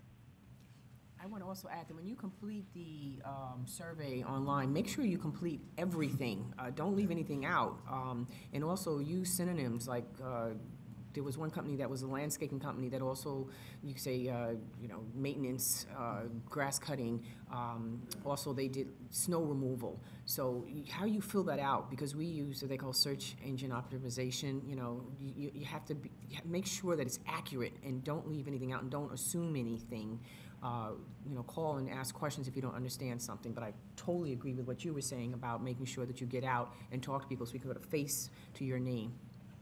The relationship building is very important here, sir. Uh, Additional questions? Um, One you. more, and then this gentleman here, please. Your name and organization? Thanks very much. Yeah, of Tom course. Marciano with uh, InRange Solutions, and I'm on the board for the New York State Wireless Association. So my question is pertaining to second-tier vendors for your companies. Do you have a program that looks at that? In our example, we're a prime vendor for T-Mobile. We're a second-tier vendor for Verizon and at and T, and I'm wondering if there are programs that look at those second-tier vendors to move them to potentially a prime vendor. Good question. Who would like to, anyone want to weigh in on Yeah, that? I'll. I'll speak to Pat? that. Um, yeah, we absolutely do look at uh, second-tier suppliers. We also look at their capabilities when we have access to see some of that. Some of the, some of our primes, um, uh, They, they use proprietary information, so to speak. Um, But most of our primes, we do have access to those second-tier uh, suppliers such as yourself with us, and we do look at that. And we also, we put the responsibility on some of our primes, excuse me, to, to mentor um, some of the suppliers that they're working with. Um, Because we do love to move suppliers from second tier to a, pro- to a- a first tier situation. And to add to that, as I mentioned to you, we have a new vision, so we're going to be looking at access to capital. We have the mentoring program, so more to come. Thank you for your question. Yeah. And as a part of the FAR requirement for federal government contracts, prime contractors are required to report up their second-tier vending spends on federal contracts, so something to bear in mind. Uh, Any more questions from the audience? Uh, We might have time for our panelists to wrap up with a minute each, unless there's another question. Um, Okay, so uh, we have about five minutes left, and we have four panelists, so uh, who would like to give a wrap-up? Anyone first, at at your, at your election, whoever would like to go first? Should I just go so we're in order? Sure. Yeah. Okay, easier. Megan. Um, oh, thank you all for the opportunity to participate today. Um, I think you've heard a lot from us about how important it is. We, I know it's a time investment, um, more more so for the diverse suppliers, right? Because it's I, I know you're all running your businesses um, and so forth. So thank you for taking this opportunity. It really is important um, to build a relationship with us, as, as you've heard. So I think my takeaway is you know engage with supplier diversity at Charter. Uh, we're we're definitely building in process. We have some things built, but we're definitely in process and have a trajectory of growth. So we're excited uh, to have this opportunity to interact with you all and help us grow as you guys grow too. Thank you again. Um, It was a great, always to be part with Mr. Johnson and and the peers here. Um, Again, as, uh, on a personal level, as a person of color, if I didn't believe that my company was sincere about their supplier diversity program, I wouldn't do it. And so I can confidently say that I believe in it, the DNA of the company is sincere. Um, And so, you know, I believe that um, through my role at the NMSDC Regional Council. Um, I'd love to meet with each and every one of you, um, have conversations about what your, what your challenges are, what your struggles are, what we can do to partner. I can't guarantee you the contract. At least I can do is make the introductions to try to help you win the business. And from there, once you get in front of the sourcing, folks, I tell them, it's your barbecue from there. You got to figure out if it tastes good or not with them. So um, I'd love to be able to have those conversations with you. So thank you again. Thank you. I want to thank everyone. Um, I, I do, I'm going to put an ask out to everyone out there, business owners. Um, It's nice to be a, a diverse owner of a business that has a contract or more contracts with the corporation. It's great. But the ask I have for everyone is, what are you doing to take it forward? What are you doing to bring others up with you? Okay, because it doesn't stop with the folks that are in this room. It doesn't stop with the folks that we know. Um, it's, it's our responsibility to help bring others along with us. That's, that's the spirit behind it. I live that. I love that. Um, I really challenge everyone to do the same. Well, that's a very engaging and holistic approach to procurement, and we appreciate that, Pat. I'm sure your colleagues certainly feel the same way because I know they do. Yvette? Well, on behalf of AT&T, I, I am really most grateful to be able to partake in this outstanding event. And needless to say, AT&T is absolutely passionate about our supplier diversity program and our best-in-class uh, program. And my advice to all of you is to keep learning, keep networking, and stay relevant. Yes. Thank you, gracias, and danke schön. Oh, yeah. So, so thank you very much, uh, Ms. Bess Johnson and um, Director Sanford Williams for, for this event today. And please again join me in thanking our panelists for a wonderful conversation. Thank you.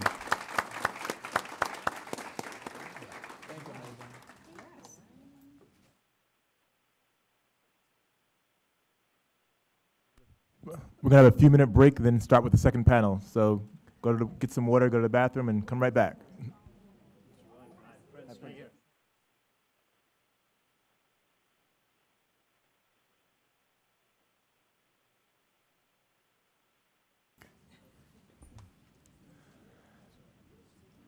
Thank you all. Um, welcome to panel two. And before I get started, um, S. Janelle Trigg handed me a flyer. Um, Hudson Valley Wireless is hiring qualified contractors to assist with, assist with broadband deployment. She brought a bunch of flyers for any contractors who are interested at the front table. So that's a plug for um, Hudson Valley Wireless.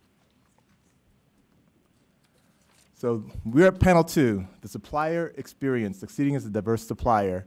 I have a stellar panel here today. Uh, but before I get started, um, I mentioned earlier I'm, I can kind of be irreverent. Um, I have three kids, a 29-year-old daughter who's an attorney in California. My son is 27 and he's in medical school in North Carolina. And my youngest daughter is a rising second year at the University of Virginia. And I love to bring them with me places and I love to point them out because I'm proud of them. Um, one of our panelists, Nina, has her daughter Amanda here, who's a rising first year at UT, right? UT Austin, Hook'em Horns, you know, I know that much. Um, communications major. So any of you guys with communications jobs in the future, you know, keep her name in mind, look out for her, you know, because she's going to be doing great things. Uh, so I know, like, I love having my kids here, so I'm glad that you're here. Even though my kids aren't here, I'm glad you're here. So thank you. Um, I'm going to introduce, uh, introduce our panelists. First, um, we'll get pronounce the name right, Prince Nayar, Comdex, um, Nina Vaca from the Pinnacle Group, Chris James from the National Center for American Indian Enterprise Development, um, Charles Harrell, um, let me sure I get this right, president of the IT Architect. Thank you. Uh, Sabrina uh, G. Kent, chief of staff of the National LGBT Chamber of Commerce. And we have one substitute panelist who's still awesome, uh, Wayne Kimball, Act One Group VP for Corporate Strategy and uh, Government Solutions. I'm gonna have each of these fine folks give an introduction, um, say a little bit about themselves, whatever they wanna talk about. If they wanna rap Hamilton like I did, you know, they can do that too, you, you know. Uh, you can tell, I'm obsessed with Hamilton, but anyway, um, give them a minute to talk. After they say their introductions, I have some questions prepared. We'll have some audience interaction as well, and we'll just go from there. Hopefully we'll have a good ride. Um, we'll start with, with Prince. Well, thank you.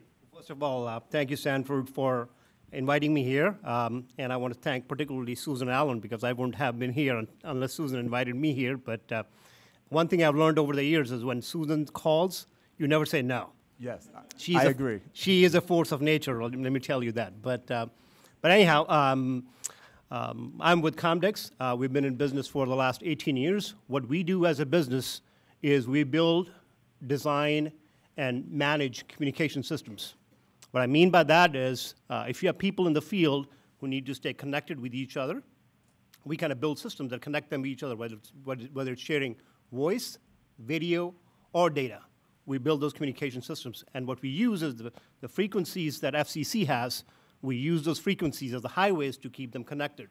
And the other thing we do is we keep the first responders in the field connected with the 911 systems or command center, whatever you may want to call it. So if you look at the triangle, sort of keeping these people connected when seconds can make a difference between life and death, that's what we do as a business. And I'm glad to be here. Thank you. Nina? Good afternoon, Sanford. I have to tell you that, um, Sanford, I have to tell you that you, you stole my heart already by mentioning my daughter. Uh, in business uh, or in life, it's all about inspiring the next generation and those who come after us. So thank you for doing that. Uh, my name is Nina Vaca. I am founder and chief executive officer of the Pinnacle Group. We're proud to be one of the largest Latina owned businesses in America in the workforce solution space. And two weeks ago, proud to be the fastest growing women owned business in America. I am here. Um, we have been in business for 22 years, and I am here because to whom much is given, much is expected. I'm here to talk about my 22 year journey. And in 22 years, it took us 22 years to become an overnight sensation. I'm here with an open heart and an open mind to talk about um, any experiences. I believe that we are a living and breathing embodiment of everything you just heard on the panel.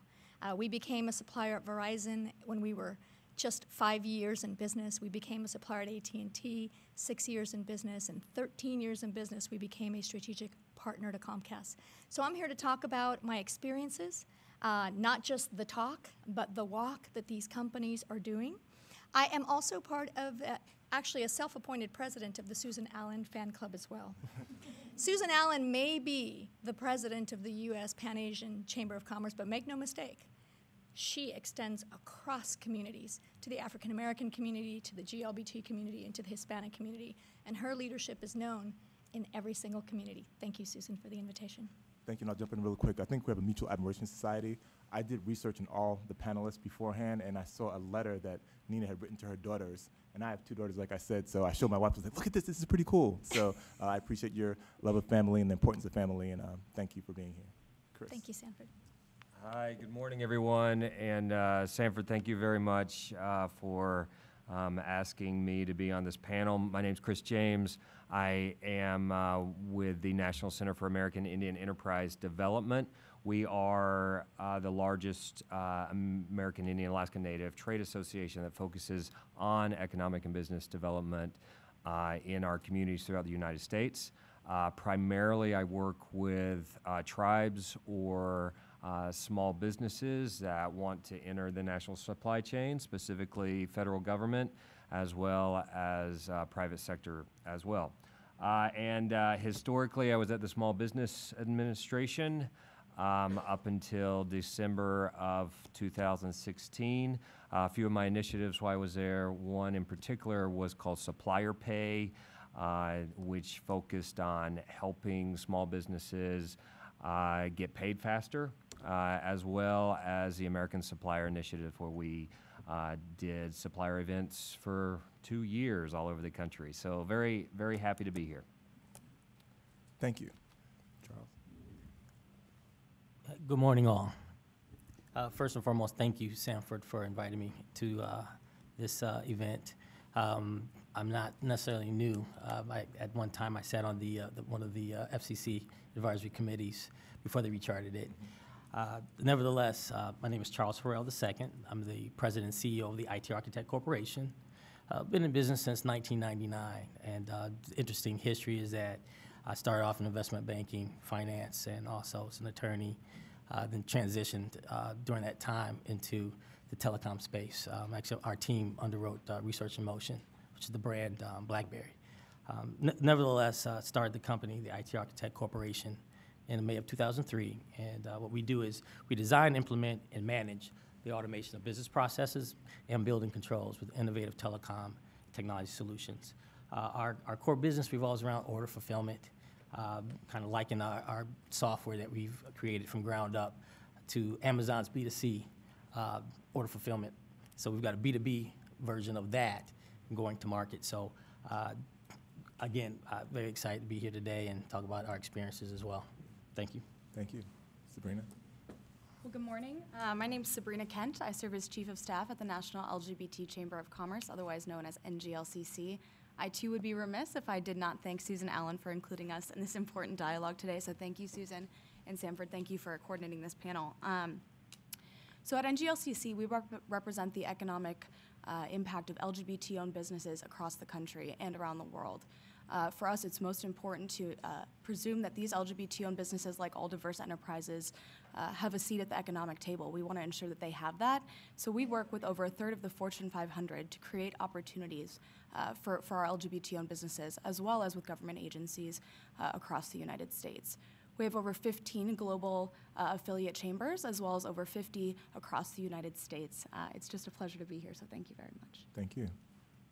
Good morning, ladies and gentlemen. Uh, my name is Wayne Kimball Jr. I serve as the Vice President of Corporate Strategy and uh, Government Solutions for the ACT1 Group.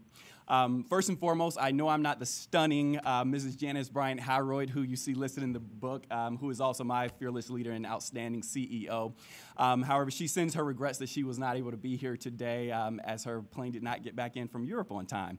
Uh, nonetheless, we're happy for the ACT1 Group to uh, be represented here today. And the ACT1 Group um, is a full service global workforce solutions company. Um, we also uh, focus on technology that enables organizations.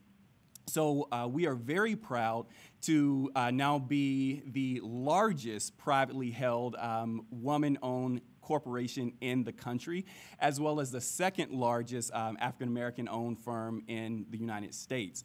Um, the reason why it's so important for us to be a part of this dialogue, uh, similar to what others have said on the panel, um, is to give back to where we've come from the ACT1 group was started over 40 years ago. Um, actually, this year marks our 40th year in business, and we're very excited to share the story that we started um, with just one office, one desk, one telephone, um, and at that time, one telephone book.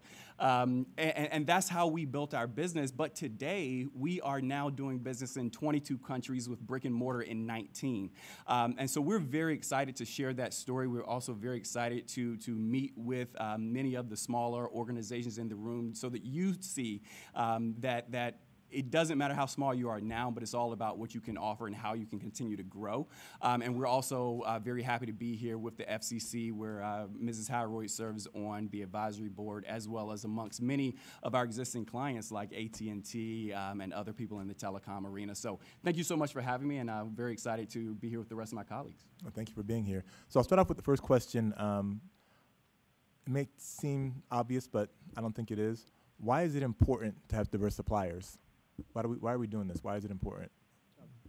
Well, I think, uh, firstly, I, I I would not have been here was it not for the supplier diversity programs. I think uh, when I came here 25 years ago, my first job was a minimum wage job, mopping floors. To go from there to where I'm sitting here today, that's a success story. That's an American dream that could not have been possible without the um, uh, diversity programs. And to me, I think that's testament to the fulfillment of American dream. That if you come here and you're willing to work hard, there are opportunities here that you can realize your dream. And to be able to give my kids a future that even I could not have envisioned when I came here 25 years ago, that's the American dream, and I'm glad. Uh, and I think that's the power of diversity programs. More than individual, I think what it, where it, I think diversity spans to across the entire society. I think when you take, I mean, corporations obviously benefit because uh, diverse suppliers, I think, as was mentioned earlier, uh, are able to offer innovative solutions. They are offer, able to offer cost-effective solutions. So I think that helps the corporations. But then I think it, it filters into the society because as diverse suppliers, we become the conduits of, of opportunities for other diverse individuals. I think we have been very fortunate to have the opportunities that the door was opened, that we could get in. But I think it's our obligation to take others with us through that door. And I think that's where I think the society benefits is that there are opportunities for other diverse uh, uh, people to come in and be part of the organization. And then also, I think if, if you look at it from the economy standpoint, I mean, if you look at how the, grow, uh, the economy grew from 2009 to 2017, that big part of the growth was growth of small, diverse businesses uh, because the programs that were put in place with President Obama. And I think that's the power of diversity. And at the end of the day, it gets back to the federal government as well, because for every $100 that the federal government spends on diverse suppliers as part of Tier 1, that $40 comes back to the federal government as tax money. But as opposed to large businesses, only 20 to 25% of that comes back. So I think for the federal government as well, there's incentive because a lot of that money, and then the diverse suppliers, they typically are the biggest spenders as well. They give, so they don't just hoard that money, they give it back. So I think as an overall, this diversity, that I like this initiative of um, uh, uh, FCC, I think in terms of encouraging diversity because I think it has a, a uh, effect more than beyond an individual. I think it, it leverages the entire society and entire ecosystem to really t- take the society forward. Good points. Nina? Can I just say what he said? Sure. I'm just kidding. No, I, I love what he has to say, and all that is true. My, you know, my, my answer is, is very, very simple. Um, it's about business, and it's about creating a better America. It's not about the color of your skin. It's not about being a man or a woman. It's about everybody having the opportunity to bring their best self to this country and then collectively grow the country to become a better America. I really believe that. Uh, the McKinsey, McKinsey and Company came out with a study recently that talked about we all know that small businesses have been the fuel to the American economy for time immemorial. These small businesses have become big businesses and now household names, but they start somewhere. McKinsey did a study recently that said having a small business owner in a family increases increases um, the income of a family by 148 percent. In the African American community, it goes up by 800 percent. In the Hispanic community, it goes up by 400 percent. If you are creating wealth, then you are growing America. And so for me, it's literally that simple. I can pick on women uh, because I happen to be one. There are 10.6 million women owned businesses in the United States. Less than 2% of them are over a million dollars. What Ms. Jan Howroyd has done is unprecedented. She serves as a role model to me and to many others. And role models matter because you can't be what you can't see. And so for, for me, it hasn't been just about building a business. Um, that's only half the story.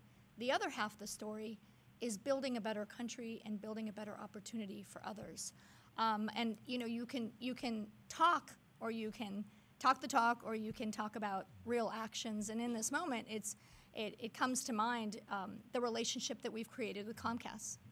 Uh, we want a very strategic partnership, a very strategic role with Comcast, and I, I have to congratulate the Comcast team for having the courage and the vision to include diversity in a very strategic role in their company. But as a result of that, we are now starting accelerators. We are now starting, it doesn't stop with the business coming to us. We've created accelerators to open doors of opportunity for companies like us. We're mentoring companies like us, and I'm proud to say that Pinnacle itself spends over $100 million with women and minority owned companies. So it's not just about um, words, it's about actions. Thank you. Chris? It's really hard to follow these two. I, they, I think they've they've hit a, a lot, but I, am going to piggyback on some of the, the things that Nina really mentioned, uh, because I really see, at least for the communities I work with, it really helps improve economic conditions and, and, and specifically in rural areas. So, so building on uh, what Nina had mentioned, some of the statistics, if you look in our rural communities, uh, creating 10 jobs, creating 15 jobs, creating 100 jobs, in a lot of communities where there's no jobs or very high unemployment, I think is very important. And having that diverse supply chain uh, is, all, you know, is, is part of that as an economic driver. I also see, see uh, the, the growth of wealth. And, and we say that especially in the most, uh, you know, I, I don't like to say underserved communities, because, uh, but, but uh, communities that are often distressed in areas, again, where, uh, you know, having, a, having small businesses that are diverse uh, creates that wealth growth and community development. Uh, and, and I also think, too, it's not only know, having a suppliers, diverse suppliers is, is good for the small business, but it's also good for, for the prime and the federal government so that they can see the, the, uh, the whole, um, you know, see, see the diversity of the United States and, and how that, that goes uh, from rural North Carolina, where I grew up, all the way to downtown here in Washington, D.C. Okay, thank you. Uh, my comment is going to even be more short uh, than, um, than, than all. Just because uh, Prince, Nina, Chris has stated it all. Um, as it relates to, um, you know, some of the uh, stats out there, um, I'm a living example as relates to those specific stats.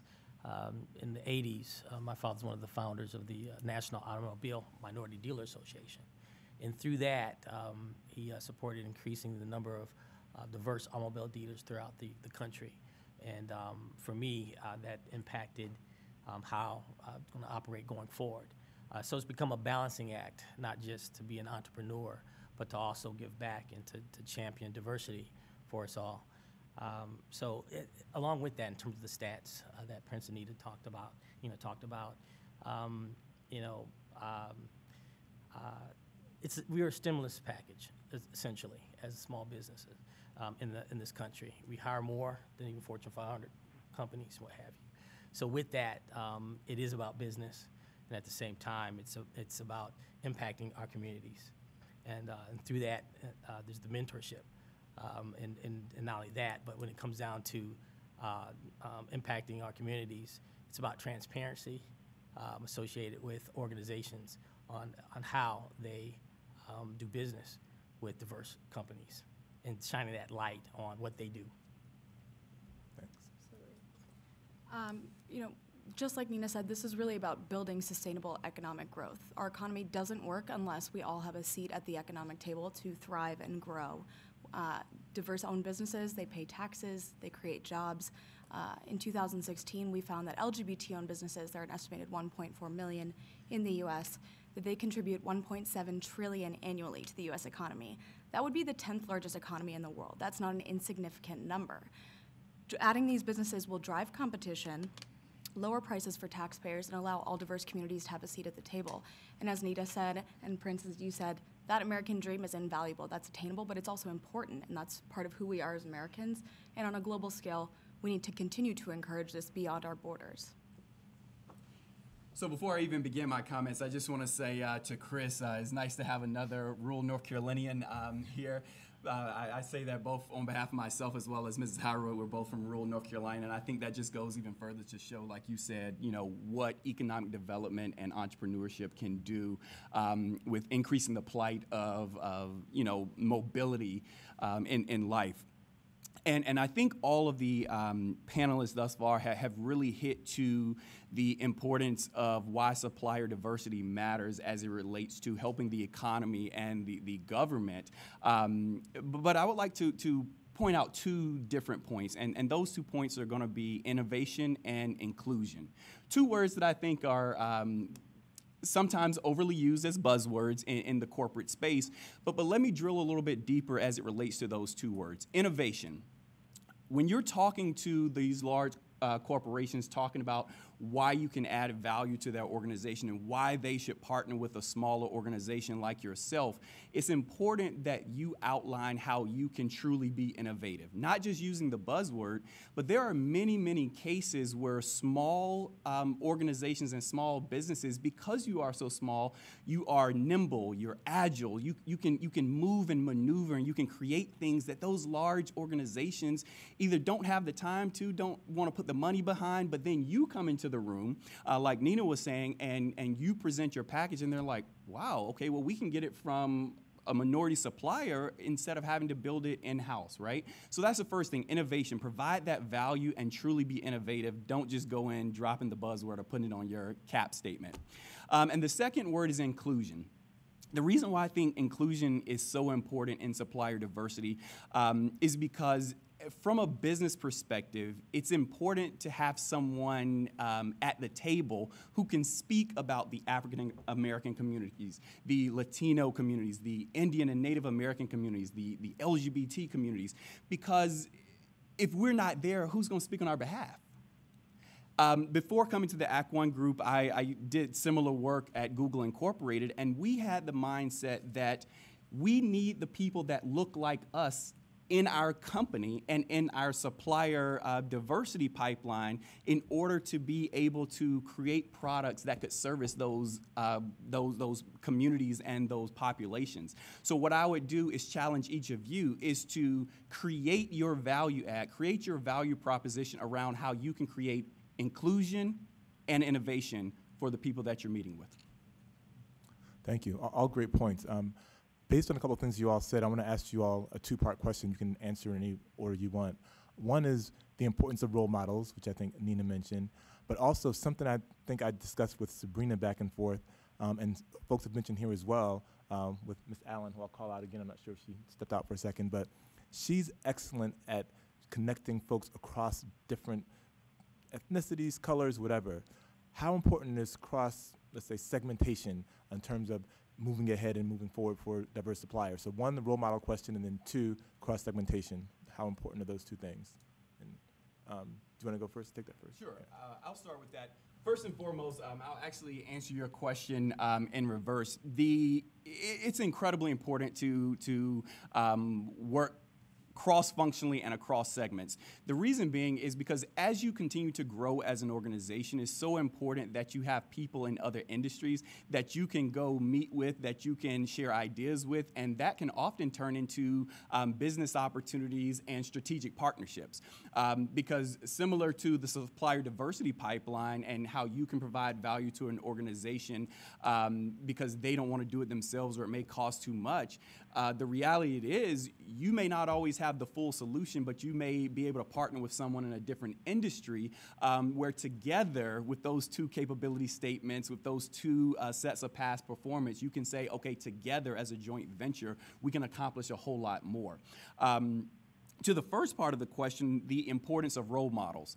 Um, I, I, think that goes without saying that you know we all have role models, right? Whether it is our, our parents or a very successful uh, business owner or executive, all the way to you know maybe even a, a sports uh, athlete or something of that sort. Um, so I think it's incredibly important, but again, not to go off script here, but if I can just dig a little bit deeper there and say it's not only just important to have role models, but it's incredibly important to also um, break that into two pieces that I like to call mentors and advocates. And I, I think so often people, again, use these words interchangeably and um, use them so heavily that they become, you know, desensitized uh, in a manner. But the reason why I want to break the word role model into those two pieces is because an advocate and a role, I'm sorry, advocate and um, a mentor are two different people, right? That mentor is that person that's going to take you under their wing and they're going to have those honest conversations with you and say, okay, this is what it takes for you to move forward. Okay, this is what you're doing wrong. Okay, don't do that again. Make sure you get it right the next time, et cetera, et cetera. Whereas that advocate is that person who can not only do that, but they are willing to evangelize you when when it comes to sitting around the table in the boardroom in meetings um, wherever that they have a voice where they can champion you. So i encourage everyone into room to, to not only have role models but to make sure that that you put those people into buckets around those people who can truly mentor and guide you um, but the others who can also advocate for you and help push you to the next level um, in ways that maybe you can't do yourself I'd say at NGLCC, it's, oh, I'm sorry. No. Uh, it's, uh, for us, you know, we, we, we've, uh, created the NGLCC mentorship program where we're pairing, uh, some of our more junior level certified businesses that maybe have come in in the past few years, uh, with corporate mentors who can really walk them through the do's and don'ts of, of how to use their certification and what's important for certification. Um, and understanding, and I always say this, um, that your certification as a, as a diverse-owned business, as an LGBT-owned business, uh, that's like a gym membership, right? You're you're going to get a return on the investment if you keep going. So you have to take advantage of all the opportunities that are there for you as a diverse supplier.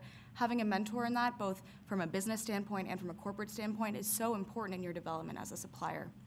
And on the cross-segment piece, um, NGLCC convened the National Business Inclusion Consortium about seven years ago. Um, that's us, WEConnect International, WBENC, and hi Pam, I see you back there, uh, the U.S. Hispanic Chamber of Commerce, U.S. Black Chambers Inc., um, and USBLN, the U.S. Business Leadership Network for Disability at Work. Um, and the idea is when we all work together, when we understand that not every priority we might align, uh, align on, but they are priorities for us nonetheless, we can strengthen our voices together. We know that LGBT people aren't just LGBT people, they're women, they're people of color, they're persons with disabilities. And so for us, it's very important to also look at our mentorship and our alignment of priorities from that angle as well. Good points. Um, Well, I Yeah. guess I'll just go down the ro- row, so Yes, Charles. yeah, yeah. yeah, As a small business owner, uh, mentorship is very important.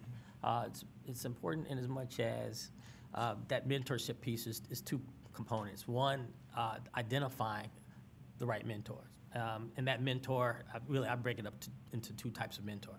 One type of mentor is a mentor outside of your industry uh, that has a proven track record of success. Um, And then secondly, identifying a mentor within your industry, uh, especially, uh, it'd be really nice to identify a mentor within an organization you want to do business with.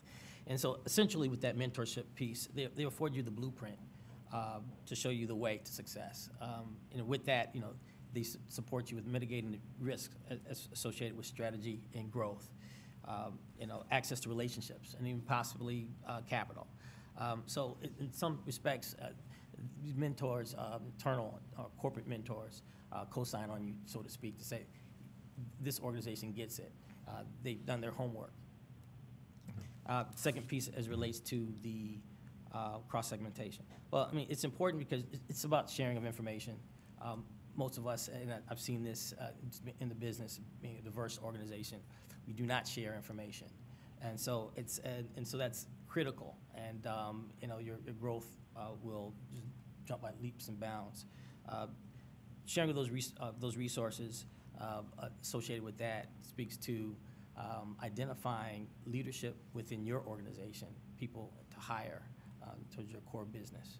Um, And along with that, in terms of uh, these, uh, you know, cross-segmentation, speaks to teaming and partnering. Um, And so through that, it gives you an opportunity to do a SWOT analysis, if you will, uh, to um, identify synergies between these organizations that you want to partner with. Thanks. Chris? I think uh, Charles and I, our notes are exactly the same, Oh. so I was just like. I was reading, Yeah. I could tell, you're reading my stuff. Uh, but just to piggyback on, no, I'm just joking. That, but but I, I, I totally agree a lot with Charles what he said. Um, you know, one is uh, we'll talk on the teaming, the ability to do that gap analysis and and to really see what your company has to offer, and then looking at a team player that maybe offers a uh, you know a similar similar but something that you don't have in your company that you can go after uh, a larger contract together. Uh, the joint venture, uh, as well as, as having, you know, um, having a joint venture and having a mentor to maybe even as I, the panel before us had mentioned, each one of those, they had different types of programs, and there oftentimes are opportunities for a joint venture with a large prime company like that to uh, go after business. It sounds like that's happened on this panel as well. Uh, and I, I, I do have to touch base on what Charles has said about the importance of choosing that right mentor is, is so important. I myself, a lot of times, I would not be necessarily a, a good mentor. Uh, not that I don't have you know the, the education but i just i just don't have the time i don't have uh, the patience and understanding not that i won't eventually so uh, a lot of times people look at me and they say oh well you know obviously he's he would be but uh, you know, I wouldn't because of just my own my own capacity of, of the restraints of time and what with my own company.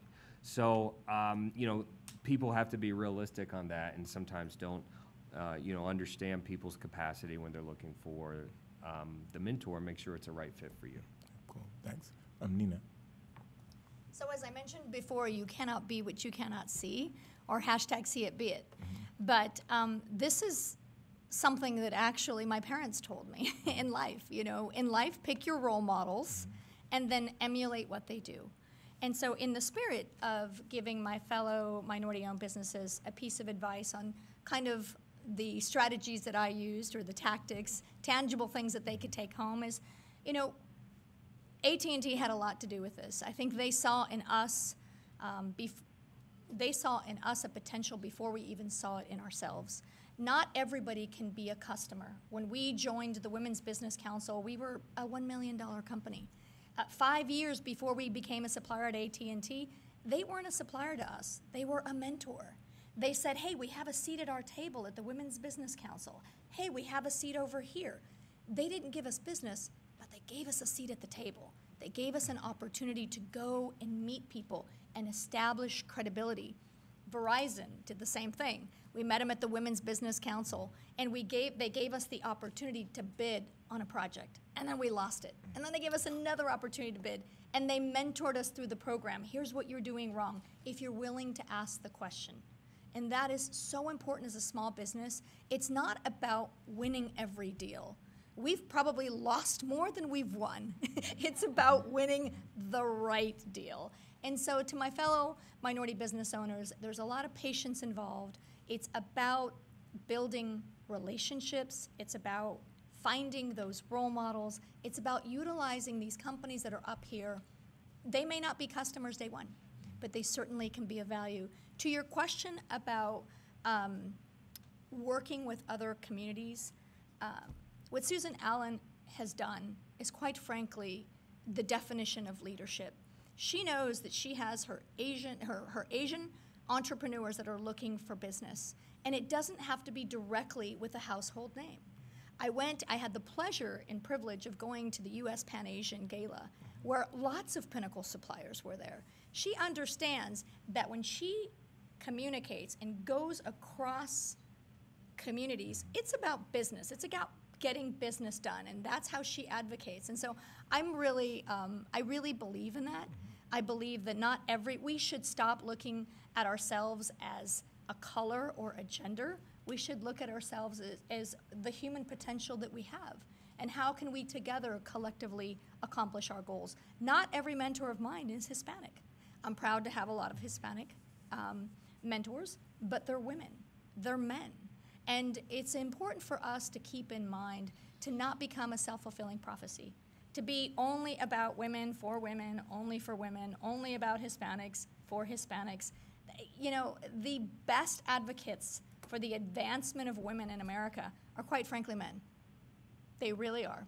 And if we don't invite other communities to the table, if we don't invite men to advocate for women, African Americans to advocate for Hispanics, Asians to advocate for GLBT. We're missing out on a great opportunity.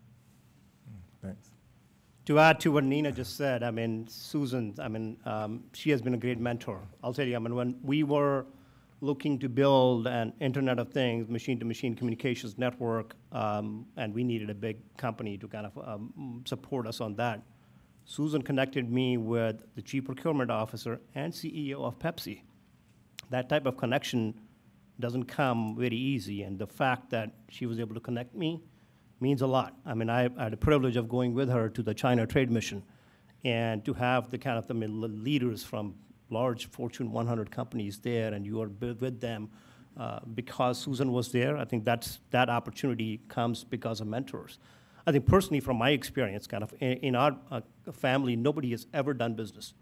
And um, back when kind of I decided to go with business, it was because I felt that there was a need in the marketplace because all the public safety agencies are an island by themselves. What I mean by that is they could communicate very well within their jurisdiction, but they could not, God forbid, it was a major disaster, they could not communicate across jurisdictions.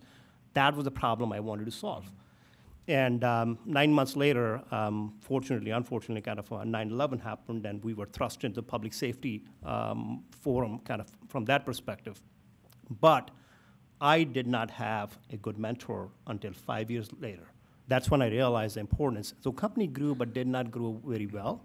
But once I found the mentor, the business over the next three years, we were on Inc. 500 list of the fastest growing company. For the next five years, we're the fastest growing telecom company.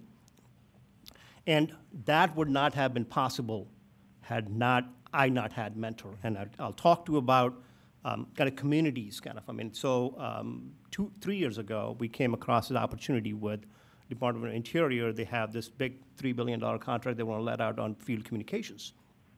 And um, there's no way we could have done it by ourselves. But we put together a team of 14 companies, and some of them, half of them are multi-billion dollar companies, half of them are small businesses, and we went after that contract. Um, we're right now kind of in negotiations with the Department of Interior competing against other multi-billion dollar companies to, to win that contract. And that would not have possible if, number one, we had built that community and kind of go in as kind of a pool of businesses that can go and take down the opportunity. And then number two, I want to give credit to Andrew Bostock, who's here, who kind of put together the whole strategy in terms of how we can go after and win a truly a game changer contract for our company. And that is the power of collaborating across businesses because even though you are small businesses, now be, by collaborating, you're really much bigger than you are. Mm-hmm. Good points, thanks. And you made um, awesome points, man. This is great. I wish I could, you know, write it down, but it's being recorded, so you can watch it later. Um, but a couple points that I really want to focus on is one, uh, the opportunity to be your best selves. I think a lot of folks don't have that opportunity, so I think it's great that we mentioned that. Um, and also the cross segmentation, so to speak. It's so important that folks advocate for other folks. I always tell people, you know, they say, well, when you raised your kids, what did you do that, they're good kids? Well, I think they're good kids, but anyway. Uh, I told them that one thing I tried to focus on with my children specifically is that they advocate and hang out with and work with good people. And I think too often times we get into our little bubbles, whether it's whatever bubble you want to term it as, and, and become focused on that and don't reach out and branch out and work with other people. Because there are lots of good folks of all shades and colors and sizes, but if you restrict yourself to one little area, you'll never get to that point. Um, piggybacking off of that, what challenges specifically do you all find that diverse suppliers encounter? Well, I mean, like I said, I mean, I think when I started out, I did not um, have kind of, I mean, any understanding of the business. So I think learning the business was probably the biggest challenge. Um, but I mean, I think in terms of pursuing the business, I mean, I'll tell you kind of when I when I was growing up, and I used to come home and complain to my mom, "Mom, I can't do this, I can't do this because these guys are there and these guys are there," and um, my mom used to say this: "Is be so good they can't ignore you." I'll repeat it again: "Be so good they can't ignore you," and I'll, I'll Oprah Winfrey had this um, uh, quote that the excellence is the greatest deterrent to discrimination. Excellence is the greatest deterrent to discrimination. And that's why, as a company, we have invested in making sure that we are really the best in the industry. Terms of making sure that we have the ISO 9001 certification, making sure we have TL 9000 certification, making sure that we are, uh, each of our managers is Six Sigma certified, so that when we come across to our customers, they say, by God, this is the best telecom business that we want to do business with. That's what I want people to, when they have interaction with Comdex. So that's why I kind of, as a company, we have grown, not because we were good at sales or marketing and all this stuff, because we were good at what we did, and we know what our niche is. Our niche is public safety communications. That's what we are good at. That's where we are the best in the business at. That's why we have done business in all 50 states across the country. Because, and to me, I think if you are best at what you, what you are, then people will seek you out. And that, I think, is, um, has been my personal experience. Along the way, kind of, I think another thing I, I would share as well is the conscious decision that I took was that I will never borrow money from anybody else. We have been profitable each and every year for the last 17 years in business because, and, and because of that, we have been debt-free along the way, kind of making sure that we grow the business responsibly so that during those times when business downturn does happen, I don't, I'm not losing my sleep because I know that I don't owe money to anybody else. That has been my advice, I would say. I mean, don't go out, do it, grow just for the sake of growing, mm-hmm. but grow because it is the right thing to do. Cool, thanks. Nina? It's not surprising that we have the same values and a very similar story. And so I just, uh, when I talk to entrepreneurs across the country, I, I tell them to be crazy good at what they do. I tell them to be crazy good at what they do. I use the crazy good hashtag all the time. And I use it not just for entrepreneurs, I use it for students. I use it anytime I possibly can because that's how you build that credibility and that reputation. And that reputation, particularly when you're a small business, goes a long way. I think back 15 years ago when Pinnacle was really small. A lot of, raise your hand if you have an extra $250,000 for marketing. And so what we did is we decided strategically to be so good at what we did, to leverage our strengths, to deliver consistently for our customers, and to partner with organizations that really want to see us succeed. The U.S. Pan Asian Chamber of Commerce, the U.S. Hispanic Chamber of Commerce, the Women's Business Council, the NMSDC, all these are platforms. They're platforms that want to see you succeed, and they're platforms that will tell your story. And so if you can become a magnet, this is an incredible way to become a magnet to your customers and future customers. So in the context and in the spirit of giving advice, you know, these are some tactical things that you can do is be really involved in these councils, be really involved, not just by the membership, but get involved. Take a leadership role, distinguish yourself, be crazy good at what you do. Um, and, and because to answer your question fully, we'd be here the next two hours. There's lots of challenges that minority businesses have, and there's, you know, a lot of them are similar to just businesses in general. But the way that you interact those challenges, I have to agree with Prince, is through excellence.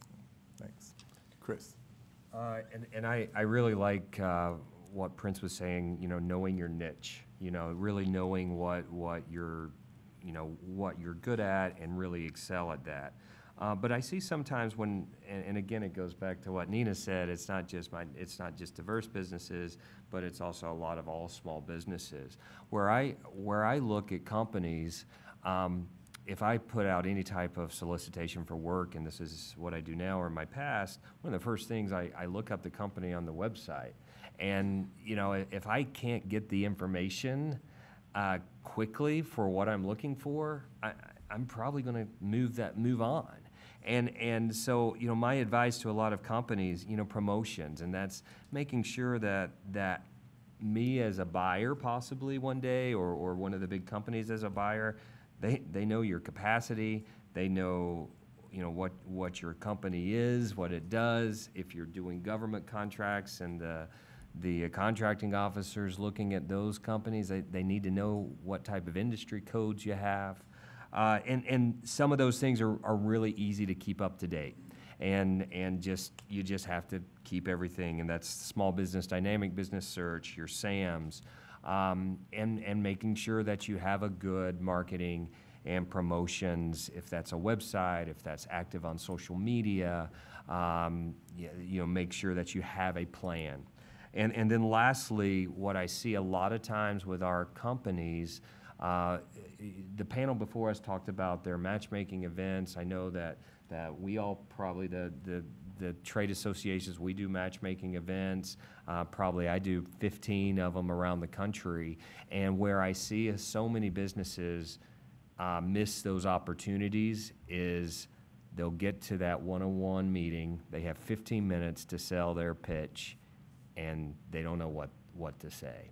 And, and I think that all goes back to promoting yourself as a company. And e- even though you may be able to, to do everything I need, if you're not able to articulate that and not able to tell me that, then unfortunately, um, you know, we're, we're going to move on.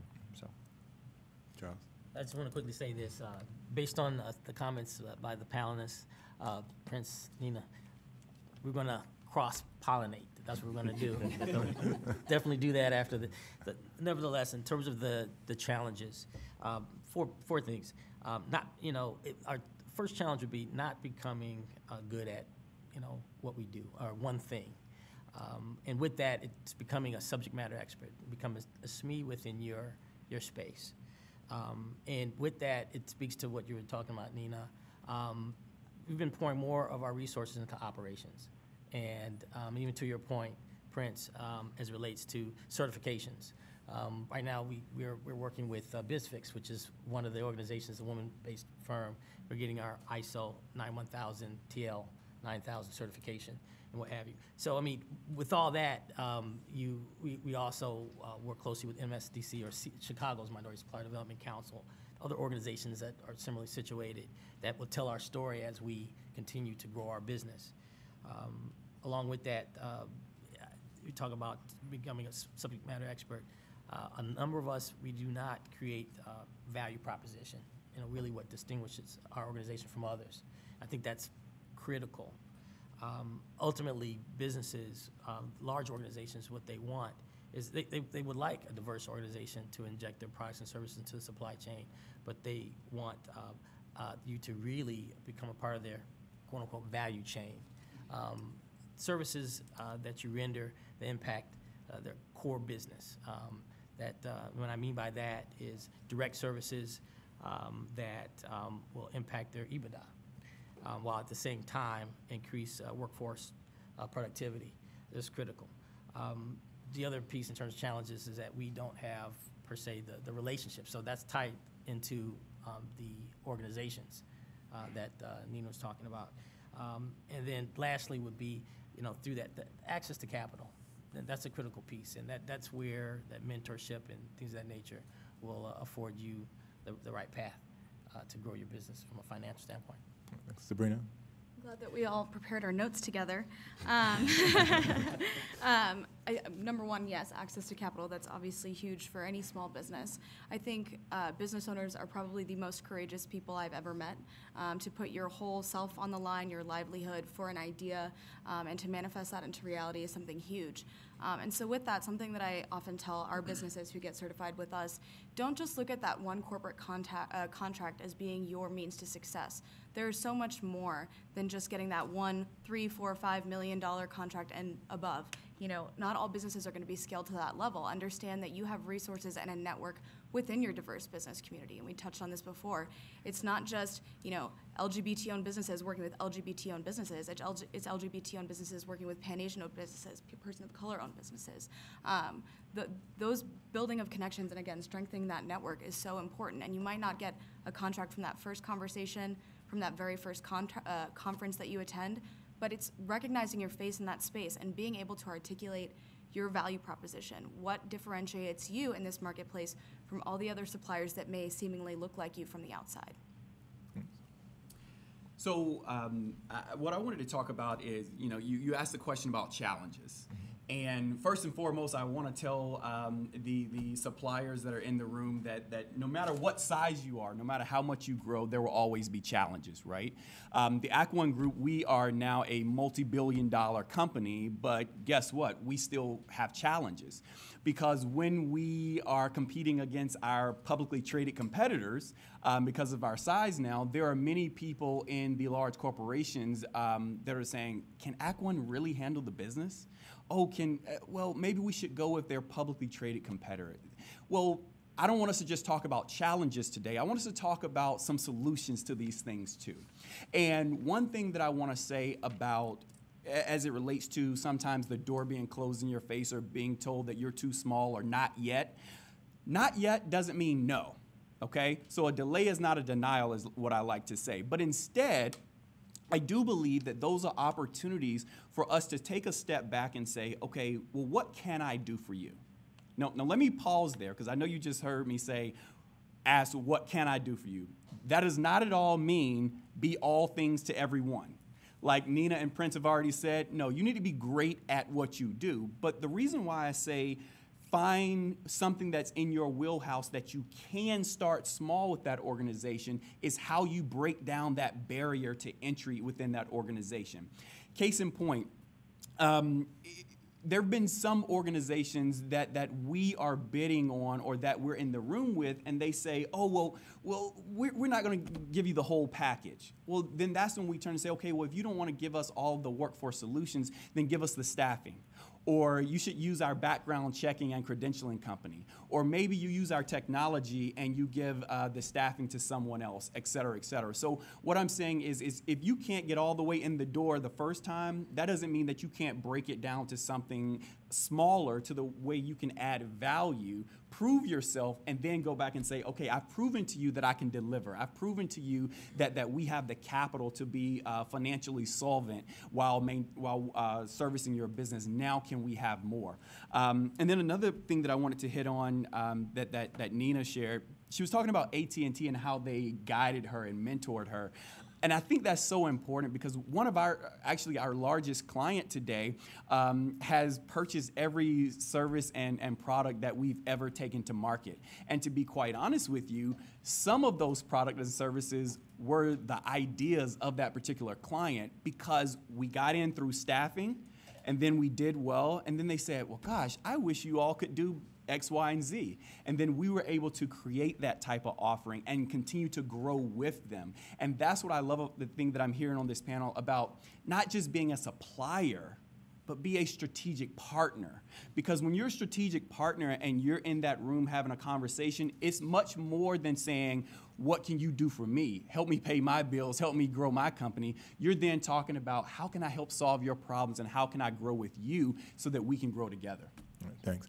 Um, we're a little bit behind schedule, but we have time for a couple questions. Um, if folks have questions.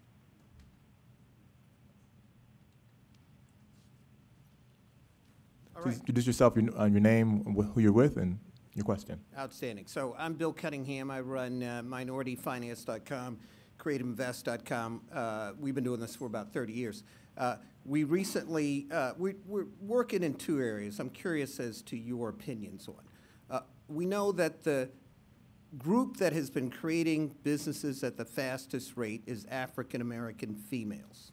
All of the data uh, supports that. We also know that according to the surveys that we've done, uh, that their number one concern, number one problem, is certainly access to capital.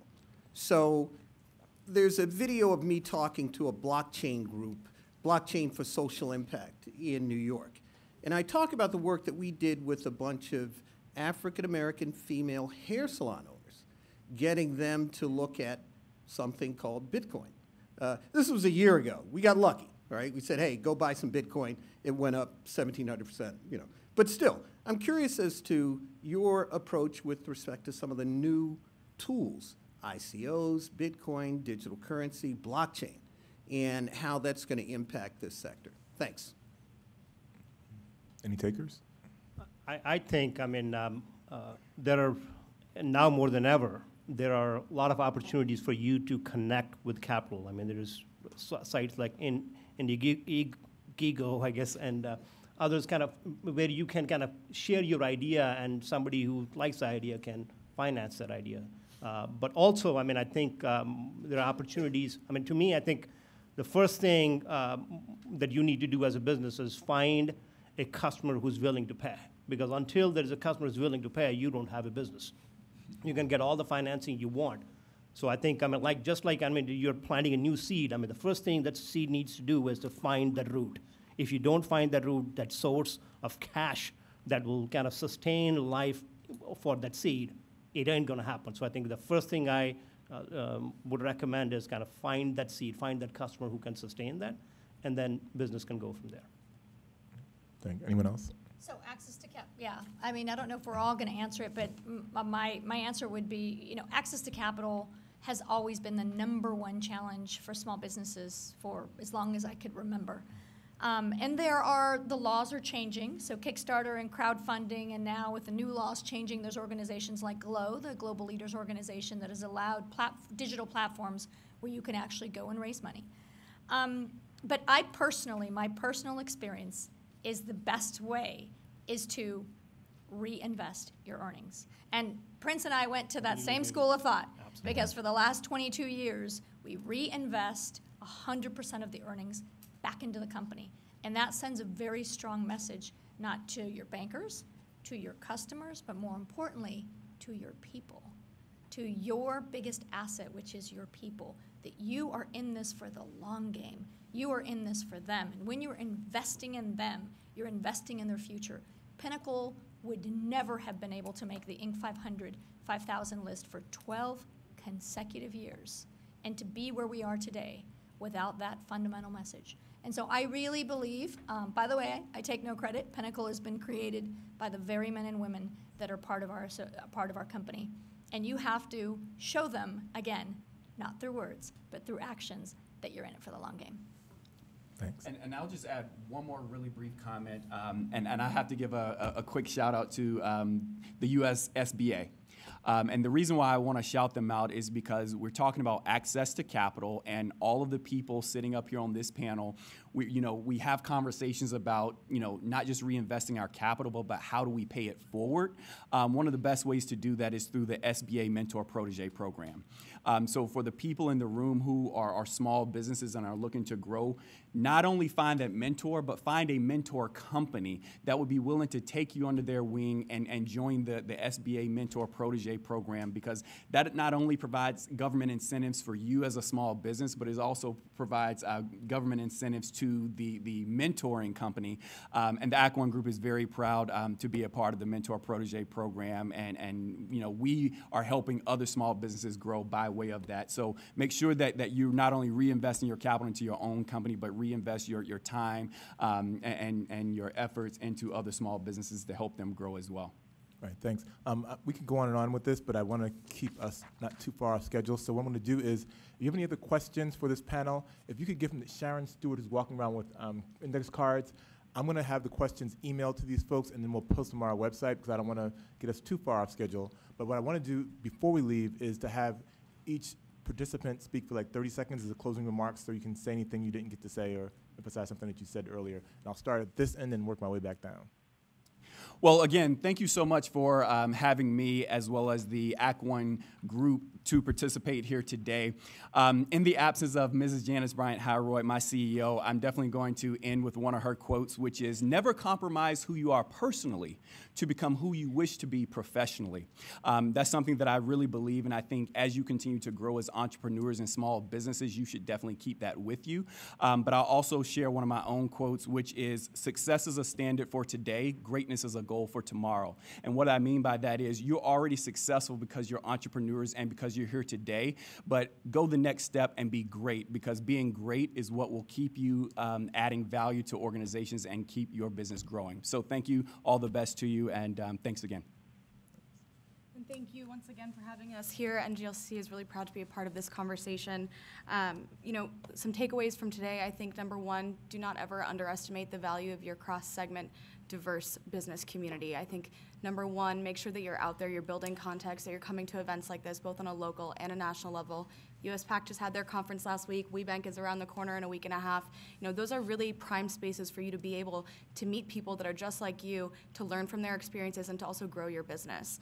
Um, and last but not least, show up, be present, and know what differenti- differentiates you. That's the most important thing that you can do uh, in any sort of business environment.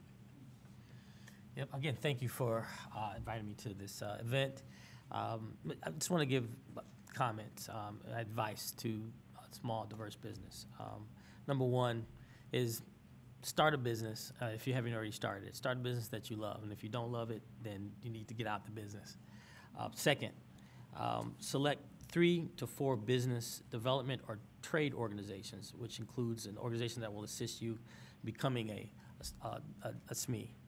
Um, also, uh, third would be create a leadership team and, and keep that leadership team close. And that would be that strong accountant, that, that CPA, and that, that legal counsel.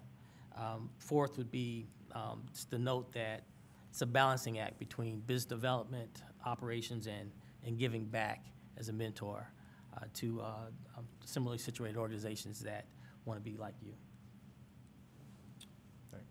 Uh, Thank you, everyone, and, and it's really great to be uh, with these, this team of experts today.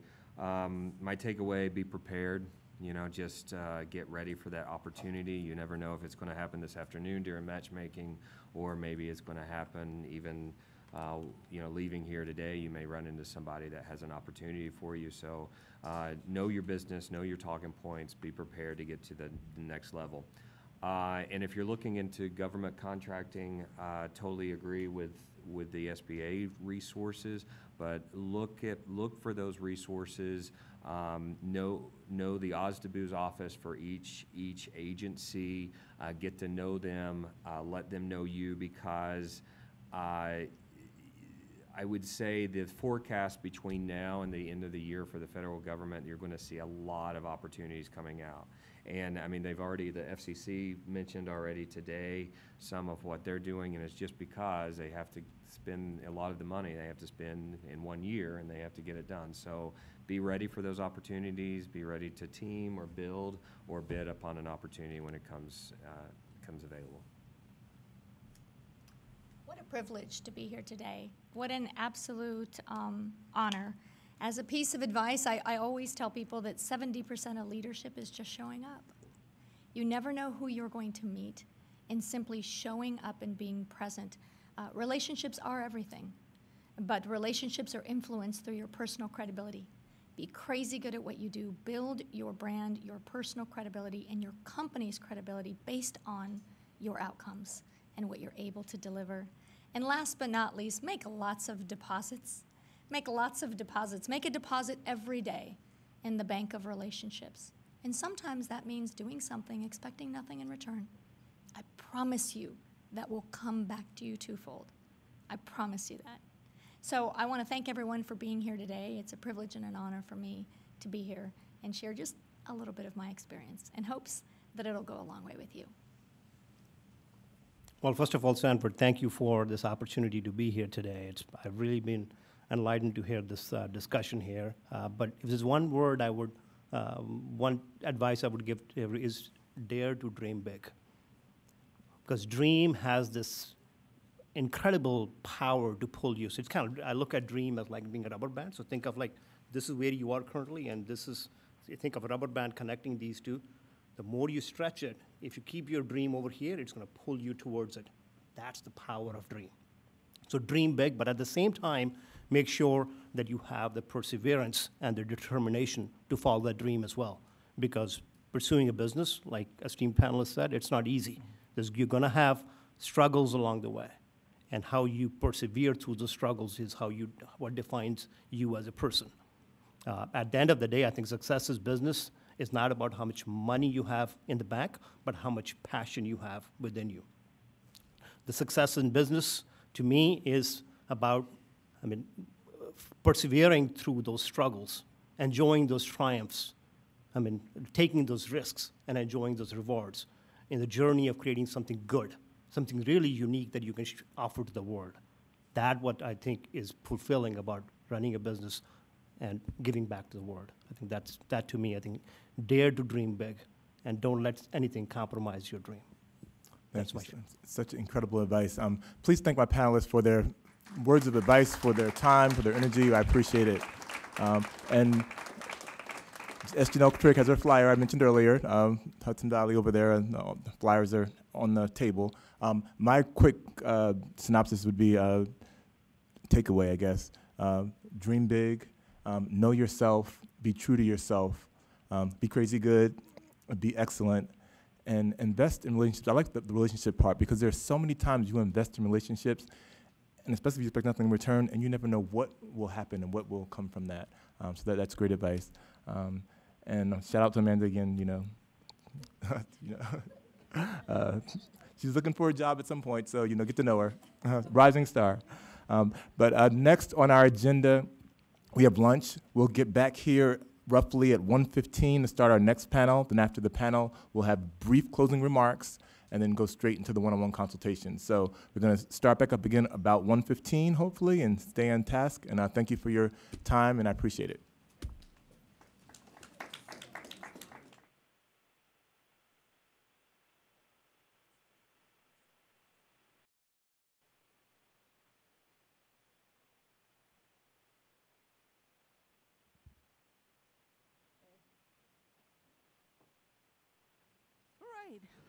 Good afternoon. I hope you didn't eat too much comfort food, and so we can continue with this last panel. Um, well, thank you for, for returning to continue these discussions. I hope you uh, enjoyed the morning session as much as I did. I not only learned something myself, and uh, we're pretty inspired by some of the panelists who shared their personal stories. Um, so um, we are going to move to our third panel soon, but before we do, I wanted to uh, circle back and recognize my working group that um, helped to put this together. I, I did mention them in my opening comments, but I wanted to be on record on the specific individuals who have been key to uh, putting this agenda together in partnership with the FCC staff. So uh, Rudy, you heard from Rudy Brioche this morning. He's sitting in the back. Rudy uh, is a sub, was the subgroup leader for the deployment uh, subgroup. Donna Epps. Donna Epps was here earlier, and she's with Verizon. Uh, Susan Allen. Susan Allen was recognized for her expertise and her, her, her tremendous years of experience in, in, in helping diverse suppliers. Um, she is the, she leads the U.S. Pan Asian Africa, uh, U.S. Pan Asian American Chamber of Commerce, and as you heard earlier, she advocates for everybody um, who's just a diverse supplier. Laura Burquall with Charter Communications, Janice Bryant Howroyd with Act One. Um, she was represented on the second panel, and um, she's a tremendous inspiration and, and a success story for, from, for, for us to learn from. Uh, Marie Silla Dixon with T-Mobile. She's, is she here? She was here earlier. Uh, Laura, there you are. Show your say hi. uh, S. Janelle Trick with Lehman Center, sitting right in front of us. She's also a tremendous inspiration for us, and um, uh, she she was happy to be here and um, has been uh, dealing with a with a, a, a family uh, health crisis. So appreciate you taking time to be here. Um, Susan, we were just talking about you. we were just talking about how awesome you are. we were talking about you and we gave you additional work to do. So we gave you another position. but thank you. Thank you for being an inspiration and, and all your years of working in supplier diversity. Um, so that is the, the members of my subgroup that have been um, really pivotal to getting this together. So if you can take a second and give them a hand, I'd really appreciate it. Okay, I think we have all our panelists together. Uh, we're going to go ahead and move on to our third panel, and that is the Toolkit for Doing Business supplier certification and, and beyond panel. It's moderated by Carolyn Fleming Williams, and she is the Senior Deputy Director of OCBO here at FCC. Thank you. Thank you. Good afternoon, everyone. We enjoyed a very exciting and informative uh, session this morning with our two panels. And um, I may say that we've saved the best for last, but certainly uh, equally as exciting and informative as this morning's sessions. So we look forward to hearing from each of you. Uh, as Heather mentioned, uh, panel three is a toolkit for success. So we want to give our suppliers uh, information on the tools, resources, skills, strategies, et cetera, that they should pack in their toolkit in order to be successful as entrepreneurs. I'll tell you, I'll start by uh, giving a brief background on our office here, the Office of Communications Business Opportunities. Our office is charged with recommending policies as well as implementing small business statutes within the FCC. Um, we wear a number of different hats, both on the regulatory side and on the outreach side. Uh, so events like this are important to us because we get to have the real world um, information that will influence our policy making and policy recommendations. So it's very critical for us. We learn something as well. Uh, we'll begin briefly with, uh, with brief introductions from our panelists, and we'll start at the end of the table with Pamela Prince Eason. Hello, everyone. Is this on? Okay. Hello, everyone. It's an honor to be here with you today. I am the president and CEO of the Women's Business Enterprise National Council. As you heard from earlier panelists today, many of our uh, certifying organizations collaborate, like mine and Susan's, and, and uh, as well as uh, Sharon in the NMSDC.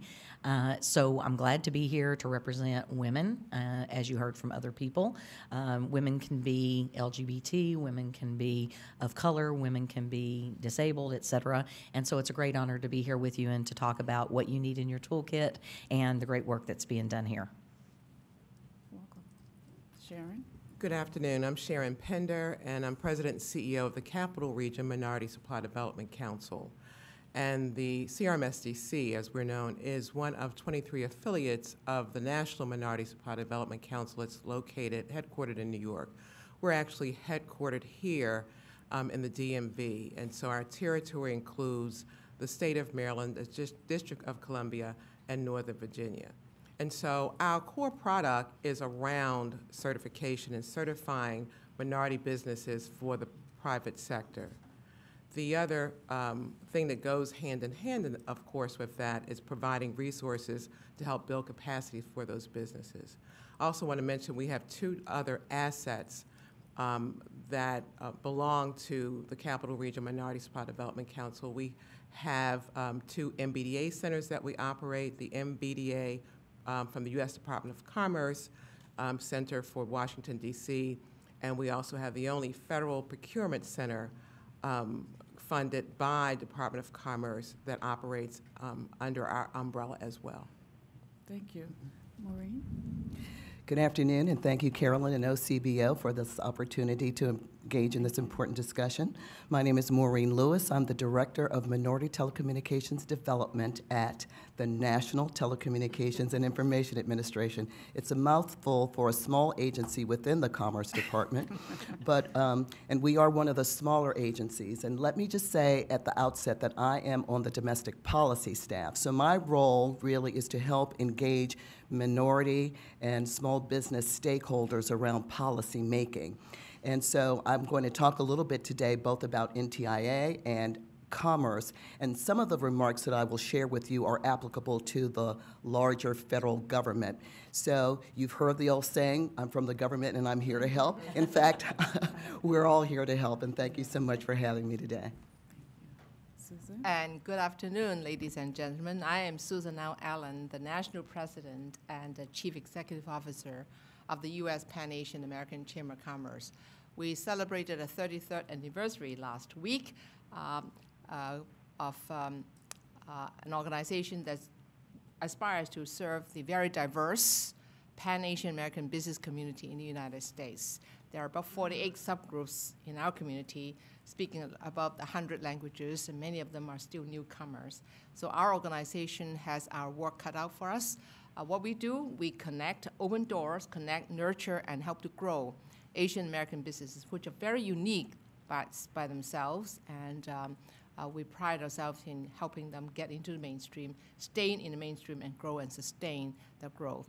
Uh, we do that, and we do it very well, and I look forward to sharing my experiences with you. Thank you. Major? Well, I asked to go last. Yes. And uh, I'm not sure about the best. I'm, I'm actually here because uh, a warrior out there in the field uh, contacted me when I was on the operating table and asked me to be here, and that was uh, uh, S. Janelle Triggs. Uh, so uh, I think I said yes, um, uh, and uh, and I, and I'm here. But um, I'm actually here. Uh, I see the tag. It says U.S. Small Business Administration. Uh, I actually uh, uh, work for an entity that's actually um, independent of SBA, and I'll explain that later on. But uh, the Office of Advocacy uh, was created uh, in the 19, uh, 1979 by Congress to be an independent voice for small business. And uh, that independent voice has, uh, requires us to be, uh, to be an advocate uh, for small businesses as they uh, pursue opportunities within uh, the federal government. And I'll talk a little bit more about what that uh, uh, advocacy really entails. Um, uh, Carolyn said people were listening, wanting to make sure, know about money. We don't have any money. So anyone who has a question to me, I can tell you about SBA's money programs, but the Office of Advocacy is without money. Uh, We do uh, have uh, some money in terms of uh, research opportunities, and I'll talk a little bit more about the- that uh, going forward. But our primary goal is to, to be your voice before the federal agencies, and we've done that pretty well, pretty well over the years, and I'll talk about some of the things that we've done. I also come here with a different hat, and um, that different hat is that um, some years ago, uh, in the 1980s, uh, I worked for a member of Congress, uh, Congressman Parren Mitchell, and we were in the middle of, of fighting for uh, small and minority business uh, issues, and FCC was, uh, was on the top of our list of things that we wanted to do in terms of trying to expand opportunities for small and minority businesses uh, in the telecommunication and in the communication area. So I'm not only interested in wanting to talk to you about what should be in your toolkit and toolbox, but asking you what you think you need to have in your toolkit and toolbox as we move forward. Great. So let's get started. Um, as it has been said and data supports, small businesses are the engine of the economy. So I'd like each of you to speak of on the specific programs and resources that you offer either as a government agency or as a nonprofit that uh, is available to small businesses to enhance or maintain, improve their businesses, um, and to be able to be competitive within the supplier diversity chain. And I'll again start with Pamela. Um,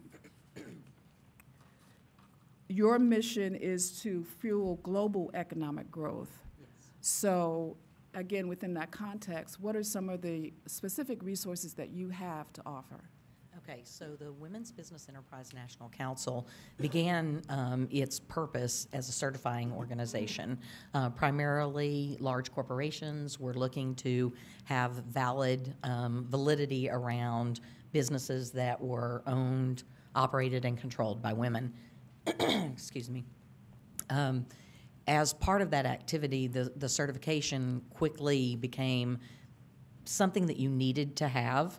Um, it provided validity. Um, it helped you to ensure that you had everything in place. And it, be, it began to provide you the opportunity to meet uh, corporations who were interested in doing business with small business, with women owned businesses, et cetera. Um, from that, though, it grew to a mission that was much broader than that, which is absolutely we certify, we are the best certifier of women owned businesses. And we do that very well and do that every day. What we're really focused on now is growing those businesses and making sure that we're training those owners so that they have the same opportunities as anyone who worked in a large corporation where the funds were available to make sure that they could train and market and develop their businesses. So we primarily do this in a, in a twofold, twofold manner, with the exception of we're always communicating what's available via the Small Business Administration or other entities who have access to capital and funds that are available for you. The two methods that we actually use are um, either we provide programs, and I'll talk about our partnership with um, Dartmouth, where the Tuck School of Business and WBENC do a development program that tries to assist in scaling business. And so we have scholarships available for people to attend that, and literally all of your expenses, in, including the tuition, are paid for so that you have the opportunity. So I myself used to work for Pfizer, the pharmaceutical company, and when I would go to anything that would train, develop, or assist me in growing my part of Pfizer's business, that was something that I didn't have to do anything other than show up for, right?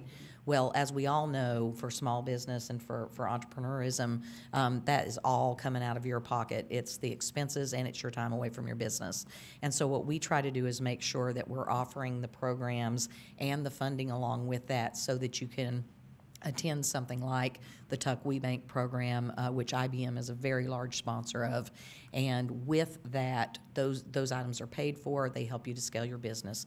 So you need to market differently, you need to manage differently, and you definitely need to understand your finances. And so one of our large focuses is around training to make sure that you can run the business in a different way and you know what you have access to. So that's one of the, the main ways that we do it. Our second main way of ensuring that resources are available to you is through our corporate partnerships, where we have corporations, and many of these are in the banking industry, um, and people are very, um, our members are very excited about providing opportunities to you that they can look at your business plan, that we can develop those business plans for investment purposes. Obviously, we want you to get some investment and some capital in, infusion, but we do want you to remain a certifiable business. So we're always looking for avenues that can infuse cash into your business, but not take away your ownership in that model. And so ours is really about training, developing, and providing access so that you can find all the channels that are actually out there for the capital that's available to you. Great. Uh, Sharon, I was really struck by the inclusion of the words diversity and particularly innovation in your mission statement with connecting um, opportunities with your uh, with suppliers. So could you elaborate upon that and talk about specific uh, programs or resources that you have available? Sure, thank you. I believe innovation was inserted into the overall description because we have to think differently about how we do business. Um, I was just talking about this uh, earlier this morning. Our organization is 45 years old, and it was created um, by executive order by Richard Nixon on the heels of the civil unrest. And so, if you think 45 years ago and the need of having um, accountability, in my particular case, of the private sector, um, while there is still that identifiable um, need in terms of disparity in the marketplace, we look at businesses a little bit different or the way of doing business a little bit different and that we can't apply those same practices that were created 45 years ago today. And so as we look also at the level of businesses that we've been able to serve um, recently, um, we have to come up with innovative types of solutions by which we help them to grow, and hence why there was uh, certification. We're a sister organization to what Pam does, and so a lot of what she's described is what we do as well. Um, we, we are a premier organization in terms of certifying minority businesses um, across the country. My affiliate is one of 23 affiliates from across the country. But I tell people that certification is the license to hunt. And what we do is our job is to then provide the fertile ground by which you hunt and that is building the relationship between our members, which is the corporate sector, and our minority businesses. So that's, that's our job, is to build that bridge between those two entities. And so we, we do it in a number of ways. Um, we find ways by which we make those direct connections because at the end of the day, business is about relationships and turning those relationships into revenue. So, how do you do that? We try to do things like matchmakers, where we look directly at who's buying in the organization, but more importantly, what are you buying over the, the next, um, in, in our case, we do the next 18 to 36 months, so that the conversation is around um, opportunities, because that's what minority businesses want. They want the ability to, um, to, nobody's asking for a handout, they want the ability to play in the game in terms of going after opportunities. And so that's what we do. We do a number of things, like as Pam was describing, we have an executive education program as well, whereas um, through Tuck or whether it's Kellogg University at Northwestern, um, Kellogg um, at Northwestern University, uh, providing MBEs with the ability to um, to um, in, infuse that infuse that knowledge within themselves because you know, oftentimes entrepreneurs don't have time to make that investment in themselves. So we provide that opportunity um, as well in order to make that happen. And then we come up with um, things like we have an MBE Academy, which takes a deeper dive into business. Um, uh, uh, you know, it's a 16, um, 16 um, CEOs of MBEs go through a, a 24-week um, program where we do a deeper dive into their finances, um, their marketing strategy, and come up with a plan in terms of helping them grow. And so our job, again, is to, for our members, to recruit those competitively viable minority businesses to do business with them, and then for our minority businesses to provide them with the opportunity for, um, for opportunities with our private sector members, and in our particular case, because we sit at the biggest seat of government, infused within our organization, we also have the federal government, state and local, um, but to provide those opportunities as well. And then we, you know, try to have a little bit of fun with it. Um, I created this thing called Get on the Bus, where when I looked at our, our region, um, I was actually traveling to one of our MBEs one day, and in this traffic, if you're in this, if you're in this DMV, you know how challenging that could be. And I said to myself as I was going through Virginia and passing some of our corporate members, which include like the Hilton and Northrop and Lockheed and others, like, wouldn't it be great to get on a bus to come see these folks? And so I created this program, Get on the Bus. And the first one we did was the, the um, area of Prince George's County, and we, we um, had the county executive on the bus with us. And he showed us where um, his vision was around opportunities in that, um, in that county. And the next year, we introduced Get on the Plane, whereas we then took some MBEs to another council because at the end of the day, we want to be able to also facilitate growth between minority businesses. And so that MBE to MBE network piece is valuable as well. And so those are some of the kind of innovation, innovative types of solutions that we try to apply to a problem that still exists today, and until we recognize that we have to come, we have to apply different types of solutions, we will continue to have the same conversation. Great. Maureen, as you know, we have shared goals um, in terms of increasing entrepreneurship and ownership within the broadcast and telecommunication industries. So tell us about um, minority telecommunications development. Uh, thank you, Carolyn. Let me just say that um, because I'm in the domestic policy office, I have the opportunity to reach a lot of the policymakers, both within um, our agency, more broadly in commerce, and then more broadly throughout government and, and in the public and private sectors. And so I've had an opportunity to work with many of the people on this panel today. Um, so I really see my role more as a connector and a facilitator because we don't currently have any ongoing grant opportunities. And some of you may remember the Recovery Act program, the um, Broadband Technology Opportunity Grant Program, which enabled private companies to apply for grants in order to deploy broadband as well as to develop public computing centers or to develop programs that associate that, that assisted folks in learning how to use broadband. Currently, we're, we don't have those kinds of opportunities, but because the administration is very focused now on infrastructure, one of the roles that I'm trying to help play is identifying opportunities um, in terms of the policy making that help ensure that there are opportunities and roles for small and minority businesses to play. So as an example, and I'd like to take a moment to introduce my colleague, uh, Lejeune Dismukes, who is the OSDBU, the Office of Small and Disadvantaged Business Utilization Director at the Commerce Department. You all may be aware of the FirstNet um, public safety broadband network that is being built by AT&T um, in partnership with the U.S. Commerce Department. And Lejeune and I just a few weeks ago held a big matchmaking opportunity for minority and small businesses with AT&T and several of its tier one contractors in order to identify um, lower tier subcontracting opportunities. This is a 25 billion, I mean, excuse me, 25-year contract that's um, capped at over $100 billion. And so we're looking at a very long-term opportunity that will help small businesses, if they get their foot in the door, to grow.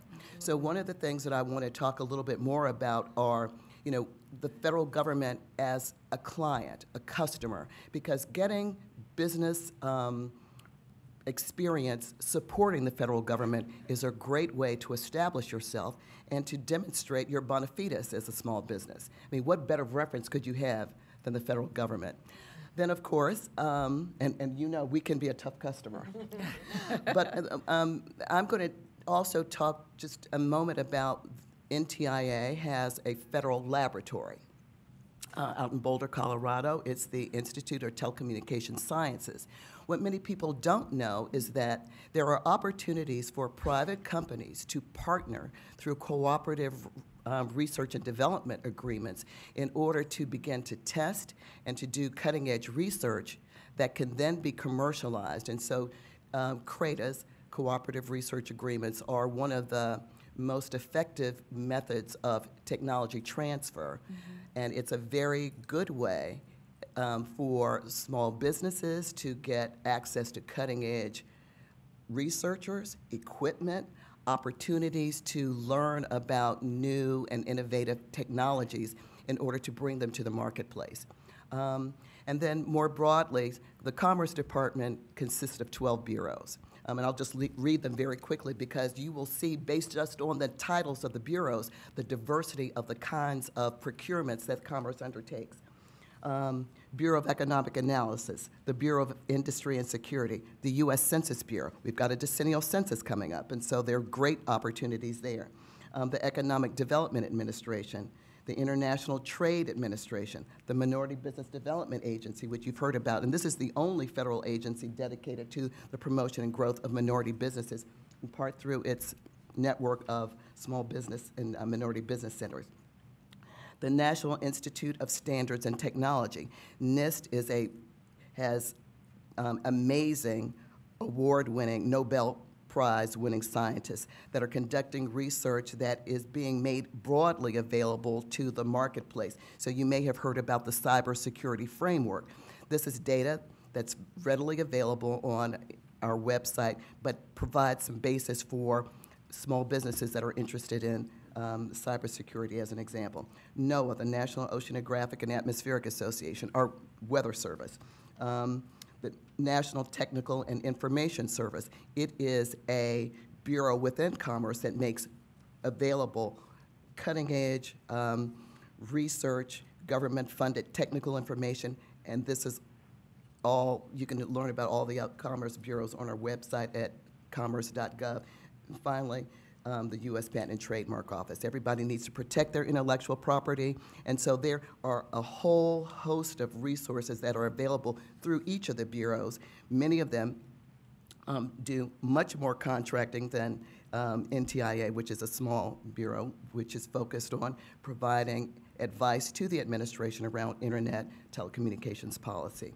So I will stop there, but I did want to um, make sure that I um, gave a shout out to um, our uh, colleagues at USPTO because they did host a very effective matchmaking opportunity with AT&T, and we want to continue to partner with private industry, other bureaus, in order to more widely disseminate information about opportunities as they become available. One last thing that I will say is that on our resource table, we have provided a list of upcoming commerce opportunities um, so that you can get a sense of what's available. They're um, segmented by NAICS code and bureau with a point of contact. So anybody who is interested in active opportunities, please make sure you take a look at the resource table. Great, thank you. So just a point of clarification, if I'm a uh, supplier, I'm interested in any of those bureaus, would I be contacting them separately, or do you have a one portal or one gateway? And that would be? And that would, and that Okay, would be great. Office of Small and Disadvantaged Office of Small, and okay, great. Mhm, thank Thank you. Okay. Susan, thank you for being here. Um, You, uh, your name has been raised, uh, and you've been praised uh, by our previous panels for the work that you, that you've done with the Pan Asian American Chamber of Commerce, as well as your work across boundaries with other chambers and other organizations. So welcome, and tell us what uh, your organization, the resources that you have available through your organization. Sure. Um, In 1963, it was uh, President Nixon that uh, decided that um, the federal government has a role to play in encouraging more minorities in the federal contracting. That was after the Philadelphia Plan that he's established. And therefore, the MBDA was formed in 1963. I was in Hong Kong still going to school at that time. Um, and many things have happened. We're now living in a very interconnected world. With global trade, your first question to Pam was about the global economic uh, uh, growth. And whatever we do here, because of the advent of internet and telecommunication and all that, um, what we do here has implications globally. Um, we at USPAACC uh, does exactly what WBENC and the National Minority Development Supply Development Council uh, do, except that we have we started 33 years ago as a niche because we found that at that time nobody would pay attention to the fastest growing population in the United States, Asian Americans. Many of us thought of us as we have good curry, we have good kimchi, we're boat people, we clean people's laundry, and I thought that there, that's there's another image of us. So we were formed in 1984, and fast forward to today, we do a lot. We certified Asian American businesses and other minority businesses as well, if they ask us to. But we concentrate on the Asian Americans because as immigration, the door of legal immigration continues to open, there will be Asian Americans coming across the Pacific Ocean to come here for further study, to invest, and to live on their retirement. So we have a very vibrant and very rich culture and rich population to service. Many of them still have to get acclimated to the American way of life. So in the last uh, 33 years, we've grown a lot. No, we do not take any government funding.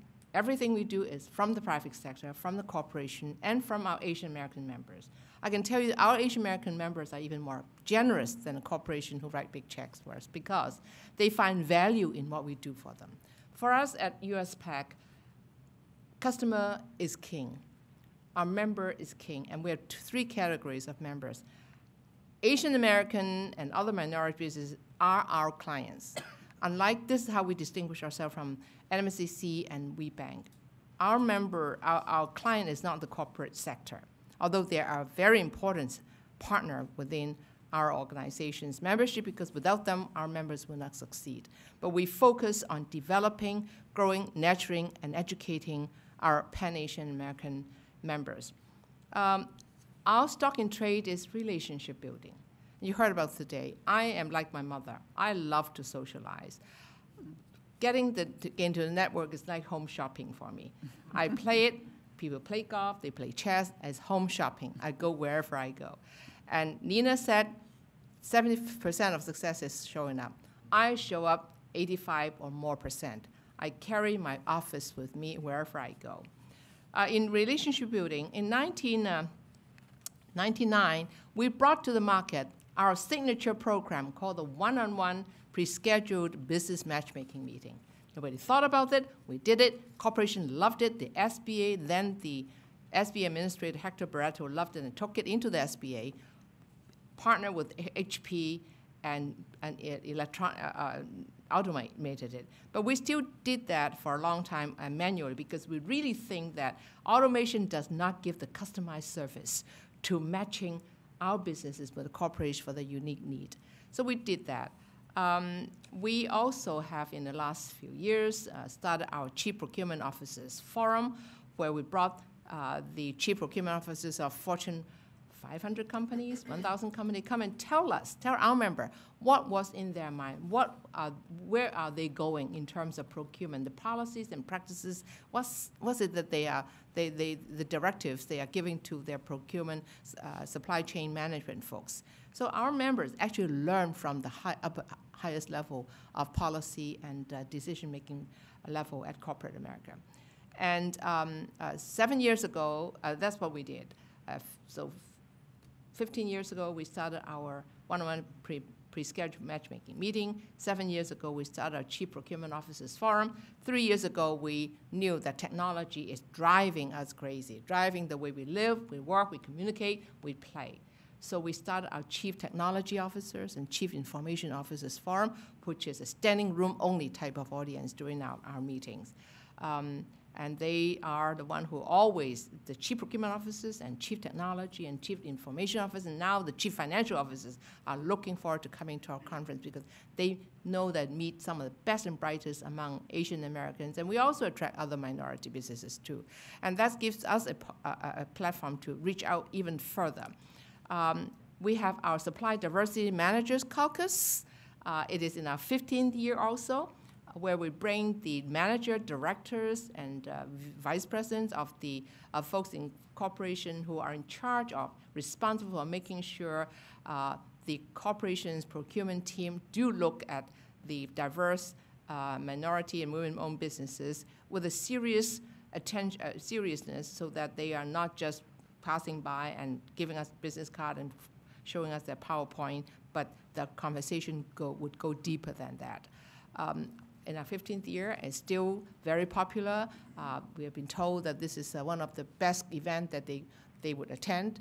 Uh, where the, the rookies in supply diversity uh, managers will meet with the deans, the PhDs in supply diversity management. Uh, we are very, very proud of what we've done. And those are the creative, innovative programs we keep on improving. Um, we also have a Business Express, which is, uh, in other words, a um, a uh, similar to some other program where you bring the businesses together and teach them things that they or let them share. Uh, CEOs of um, Asian American owned companies and other minority owned companies, CEOs who would have all this problem that is burning in their mind, but they do not have anywhere to share. They'll come together and begin to share the problems, and they, they would be, learn that, wow, what has been burning me, you have it too, and it's not that difficult, and they they help to solve each other's problem, which is very gratifying to see them come back to say, Susan, so, so glad that you bug us or your team bug us and tell us we should be here. Um, we also have our uh, CEO Academy, where we uh, provide personalized uh, uh, coaching for those who understand that they have to change, otherwise things will change them, help them uh, handle uh, uh, their personal way of uh, either adapting to the corporate culture in doing business with major corporations or handling their internal personnel and financial issues. Uh, these are uh, uh, what we call change management. Uh, at our conference last, last week, we had a very, very successful session for our CEOs who joined the academy. Um, 10 months in a year, we will, every twice a month, we will have a nationwide or worldwide webinar where we will teach uh, for an one hour. We will have folks come on onto the webinar and share their own experiences from uh, whether uh, running a business as a family-owned business is an advantage or a disadvantage to how to grow from a 50, $60 million company to 100 million or and beyond. Um, we do a lot. And uh, we also have great partnership with all the OSDBU directors in all the federal agencies. Uh, I came to uh, Washington, D.C. from high school as a young punk. Uh, and therefore I grew up in the cradle of Washington, D.C. politics, policies, and government contracts. I understand it. I know the SBA. I know the MBDA. I practiced law for a while. God had a different path for me and got me into this job, and I've been the happiest woman ever since. Okay, Thank you. Great. Thank you. So Major, uh, when we think of the Small Business Administration, we think of uh, Section 8A, microloans, uh, small business centers, but there, uh, there's a myriad of ways that the SBA supports small businesses. So tell us about the Office of Advocacy. Before I do that, let me just, uh, I was listening to the other presentations, and uh, I, I know that uh, Congressman Mitchell is probably in heaven, and he's smiling right now.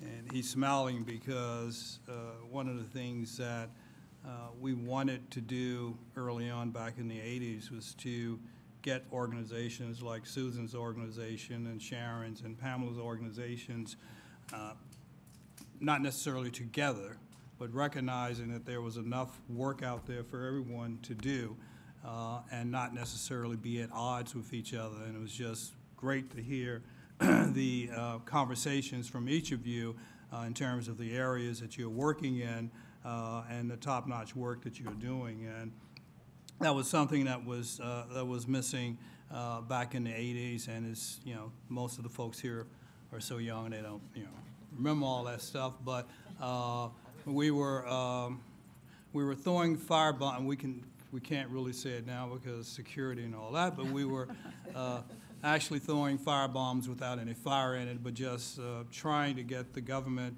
both private sector as well uh, with the Minority Supply Development Council, uh, as well as the public sector to recognize the importance uh, of small and minority business, and that included uh, African American business, women-owned business, Asian businesses, and in fact, uh, Susan and uh, Paula Parent's uh, Brain Trust, uh, we had some very uh, strong uh, Asian American businesses uh, that, that that we work with. So for me, I was for me it was listening to that, and I was enjoying that. So I just want to wish you continued success in terms of the things that you're doing, because there's still a lot to be done.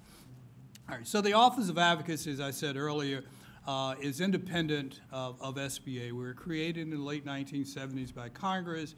Uh, some tells, tell me that Congress just didn't feel that SBA was doing what it needed to do, so it created this, this entity called the Office of Advocacy. And uh, we were given broad powers uh, to, to actually uh, represent the interests of small business uh, before federal agencies, but some of that power also included representing uh, small businesses uh, and minority businesses in, uh, uh, in, in the private sector. Uh, Office of Advocacy over a period of time has, has morphed into a structure created prim- primarily by Congress in which one of our primary roles is to, to look at federal regulations and to, to be the voice of small business uh, as those federal regulations are being uh, pushed forward. And uh, last year, we saved small businesses about $7 billion uh, in federal regulations that uh, they would you would have had to comply with uh, if, if we were not there advocating on your behalf. And that number goes up, it goes down, but for the most part, we are considered by the federal agencies as being the entity to go to to see whether or not their regulations are complying uh, with uh, the federal requirements for small business. So that's the one thing that we, we, we primarily do. On the, uh, on the other side of that equation, um, uh, one of the things that I have been doing since the early 1980s has been uh, involved in the federal procurement process. Uh, I'm probably one of the few people who actually uh, can read the FAR at night as a bedtime story. Uh, one a prob- probably one of the few people who understand who understand what the FAR is really saying. But uh, you know, I, I cut my teeth in Congress on federal procurement, and I, I think that becomes one of the that becomes the essence uh, of, of a large uh, percentage of what uh, what we need to do in terms of helping uh, small businesses, minority businesses uh, grow in that marketplace. Um, and uh, so I, I, I follow uh, most of the federal procurement regulations, and I make comments, and I try to ensure that small businesses are protected in those regulations.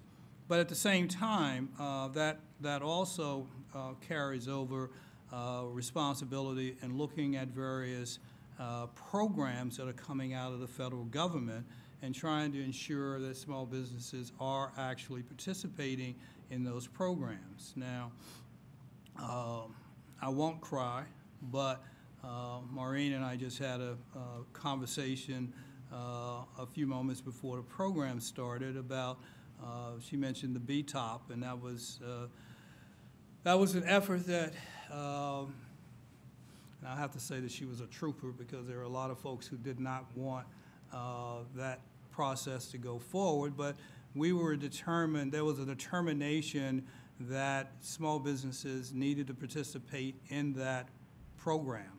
And uh, one way that we were able to do that was to, um, Maureen was able to get, convince her leadership that the SBA size standard needed to be changed to be increased so that a, a larger number of small businesses could participate in that uh, grant program. And uh, that was done, and we worked through SBA and others to make sure uh, that happened. So uh, a lot of what I do is, is, is actually working, trying to work with the various agencies. Uh, we mentioned commerce and, um, you know, um,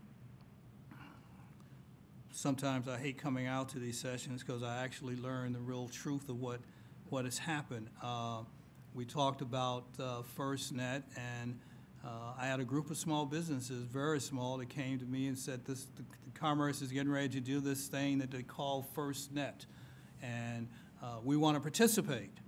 And how do we participate?" And we uh, attempted to, uh, to to pull the onion skin back uh, on this thing, and it was a convoluted onion okay, to say the least. Uh, it was a convoluted onion that had been actually created by Congress, and we were not uh, successful in getting small businesses at the table before the contract was awarded, and that was our particular goal. Uh, I do understand, and I think, you know, there's not all is lost because there are now conversations regarding subcontracting opportunities and, and so forth, and hopefully those opportunities do materialize. But uh, we were looking at getting, trying to get small businesses at the table to be part of the actual development process. So, uh, so that they were not necessarily getting subcontracts that were indirect contracts to the whole development process. And, and I think that's, you know, Sharon talked about innovation. I think that's where all of this has to go in terms of, in terms of opportunities for small business. Um, Maureen mentioned NIST. Well, I've been involved with NIST for a number of years in terms of cybersecurity and trying to get small businesses involved in cybersecurity, not only from a protection standpoint, but from the development standpoint of, of product and services uh, so that that uh, so that they can participate in that market. And that market is, is the dollar signs on that market is just, just unbelievable. Uh, but we have to be there at the start of the process. Otherwise, we, we, we, we get what's left at the end of the day. And that's part of what we do in the Office of Advocacy. We're a small office. Uh, we're a small office of about 52, uh, 52 uh, our employees nationwide.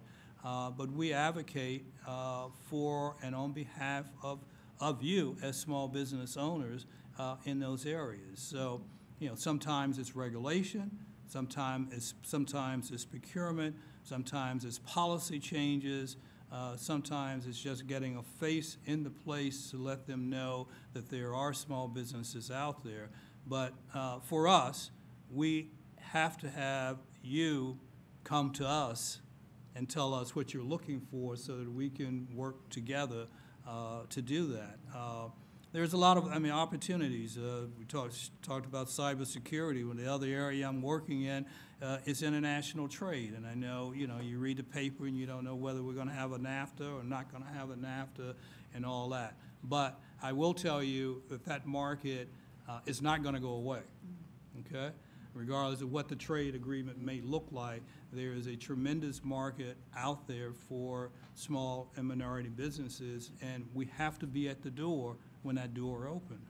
Uh, because if we're not, we're gonna get, we're gonna get pushed to the side. And, uh, you know, we're already having some discussions with the EU in terms of a, um, in terms of some type of agreement, whether it's a trade agreement or not. But uh, there will be a flow of opportunity, and we got to make sure that, that, that we're at, in that flow and getting positive results from it. So that's kind of what, what I do in the Office of Advocacy, and uh, to date, no one has told me to stop doing what I'm going to do. So you're gonna keep on. I will keep doing it until uh, someone tells me to stop. Great. Uh, In the time we have left, I'd just like, um, and I'll throw this out for anyone to address, what do you see as the biggest challenge or obstacle currently for small and diverse businesses? And what resources or strategies do you have or know of that can help overcome them? Anybody want to start? You go, Susan? Susan? Yes. Well, uh, it's a perennial problem for small businesses. Uh, I heard earlier today, uh, Act One's uh, spokesperson said that uh, even with a multi-billion dollar company, when put side by side with a larger corporation, uh, they would be told that, well, but you're not big enough, although you're multi-billion. Can you imagine folks who are represented here, what they will be, have been hear- hearing, they are not big enough. I testified before the Senate Small Business Committee some years ago when um, Senator Landrieu was um, the chairman, and I, she asked for some uh, um, things to talk about. I think she only asked for three and gave us eight. And at the end, she said, Susan, would you just give me three so I can, I can deal with? Uh, one of the, that was uh, exactly this. Corporation i for, uh, for efficiency, consolidation, whatever you call it, uh, vendor rationalization, they are contracting the number of suppliers they use from a large numbers to a smaller number, so they could, they could manage it. We call it, years ago, uh, contract bundling. And I had testified before a General Services Commi- Administration about that. And my husband said, Susan, don't fight the battle, it's a losing battle.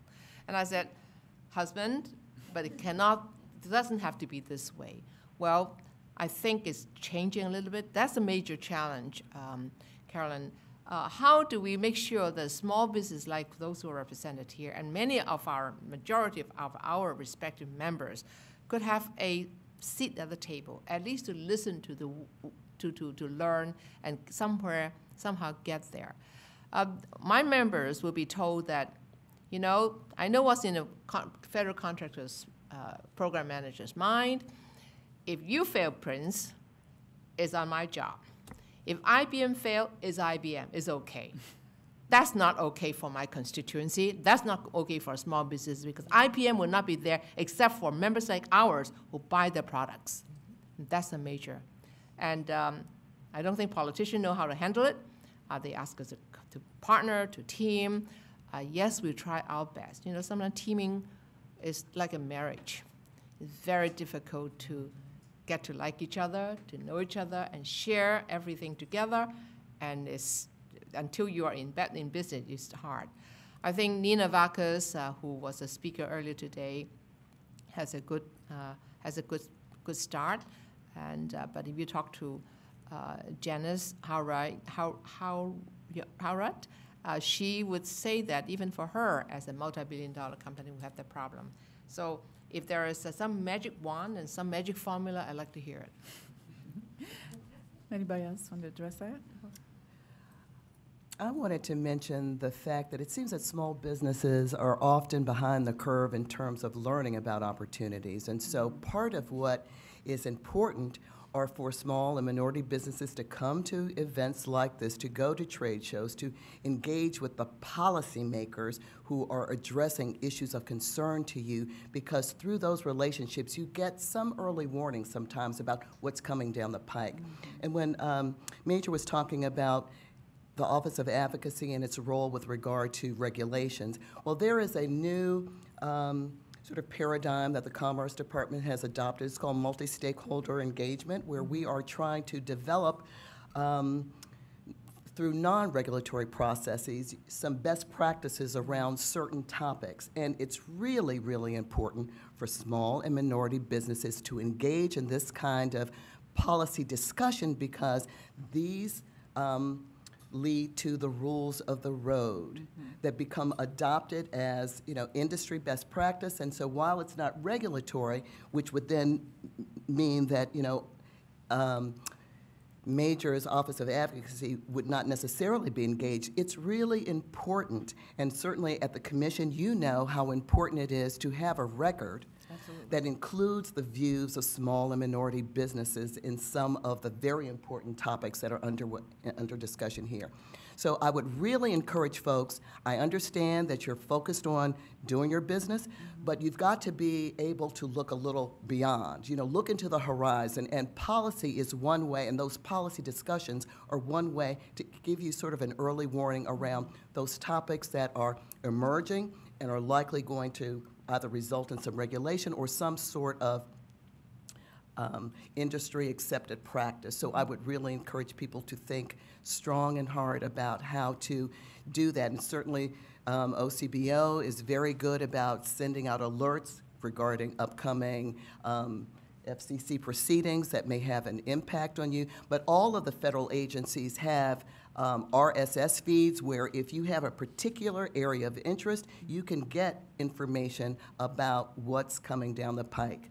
And also, you, that's where you would find information on the multi-stakeholder uh, Yes. proceedings as well? Absolutely, absolutely. It's on our, it's on our website. Thank you. Great. And Carolyn, I'd follow in on what Maureen said.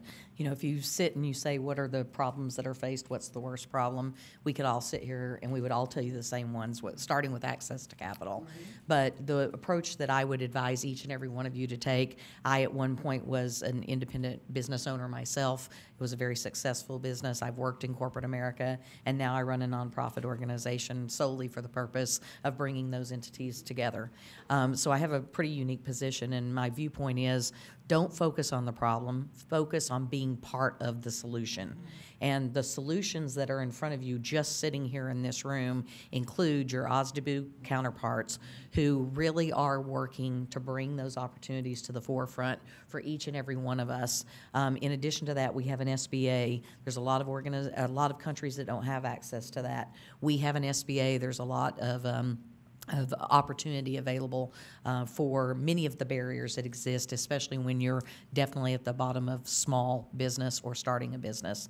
And the best thing I think that we have here in, in the Americas that do, does not always exist everywhere are the organizations that, that we represent up here, which is we're purposefully existing because corporate America and in our case, uh, the federal government, we are certifier for the women-owned small business set, about, set aside, WSB. And so through both the government entities as well as the, um, the private sector, you have the ability to come to our organizations um, to, to be part of solution building, right? Whether that's to meet through the matchmaking that you heard us talk about or to attend educational summits and, and training courses that will help you to build the strategies to grow your business or, or whether it's any other number of things that we do in order to break down those barriers take advantage of those, again, whether it's um, based on ethnicity, sex, gender, whatever those things are. Make sure that you take advantage of that. There's industry councils as well. Whatever that is that is best for you, take advantage of it. Um, many of us are collaborating together, so we're looking for the best opportunities across organizations. So, yes, we can spend a lot of time talking about the problems and really focus on that problem, but you have access to organizations that can help you with solutions. Great. I think, um, I totally agree with my colleagues. I think the only thing I would add is to look for the opportunity. Let me tell you what I mean by that. I, I think that there's a level of sophistication around a lot of entrepreneurs if we look over the decades.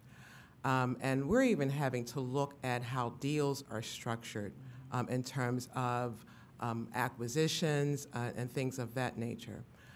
The problem that we're faced with oftentimes is the categories of our minority businesses, where they tend to be in certain categories or industries. Um, and the thing that I would like to see happen is that some of these businesses are ideal position, ideally positioned to pivot to be able to um, take advantage of the future.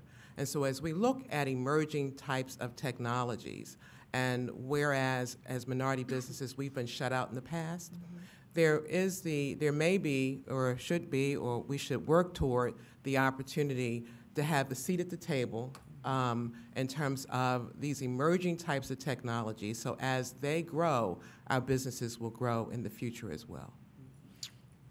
Great. Well, the, go ahead.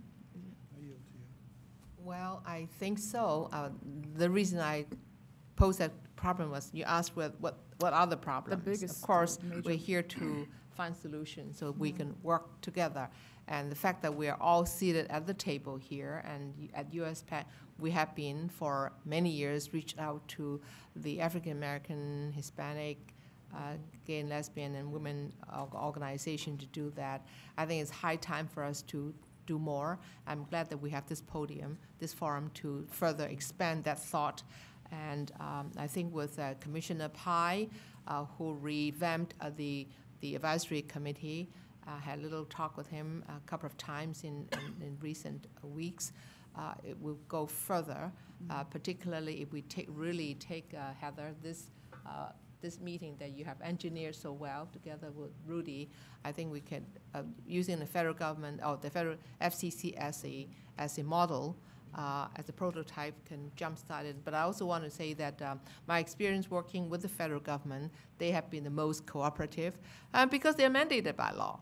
Okay, they have uh, they have the law uh, above their head, and maybe it is uh, not always a maximum maximum practicability, but still they have that.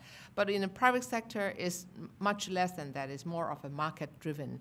Um, uh, initiative, but I must say that for the corporations who are within our membership, we're gratified that our corporate members have been very, very uh, uh, uh, accommodating, if uh, on the one end, and very uh, enthusiastic in seeking diverse suppliers uh, through us, uh, because they know that at USPAACC uh, we have a unique brand brand for them to look at. So um, please do not take what uh, my answer to your question as a negative or an, a problem. It is a problem that is staring us in our face. We have to deal with it. Perhaps uh, uh, uh, Major, with your help with the Office of Advocacy, I can uh, pick your brain again and see what we can do some more. I know that it is a big barracuda in the middle of the ocean. We're going to turn that, and I think we turn some corners. Um, with this forever increasing and expanding community of uh, women and, and uh, diverse business community, we can do better, and I think uh, we should do better, and we will do better. Would you like? So final. With some final Fi- uh, fi- words? Final, final word. Let in me. the time we have um, left. And, Brief and I final hope this remarks. doesn't create any uh, controversy. Uh, But if it does, uh, I think out of controversy, there's also uh, progress. Um, I think there are a couple things that, that, that are operating uh, as I see it, and I have seen it over the period of time. And I think one, one of the biggest problems is that uh, as small business owners, and I'm speaking to all those of you out there who are small business owners, and I've been in that arena as well, uh, we have to join organizations that are going to help us move our goal and objective. I mean, we, we can't, we cannot sit on the sideline and let the U.S. Pan, uh, Asian American Conference just do whatever it's doing. We got to be part of that organization. We, we have to be part of the National Minority Supply Development Council and PAM's group. So, too many, too many times, small businesses come to me and they don't even know these organizations exist, okay? Uh, they can tell you about the larger, larger, super larger organizations that's out there, and most of those organizations are taking their membership money and not providing them with service. So, from, so small businesses have to become engaged, and uh, that that requires some effort. Okay, it requires some effort, but it is a necessary effort if we are really serious about moving this ball further. Now, for the service organizations, what I would like, to, if you ask me what I would like to see, Susan says she wants to pick my brain. I would like to see you be more active in the congressional process, okay?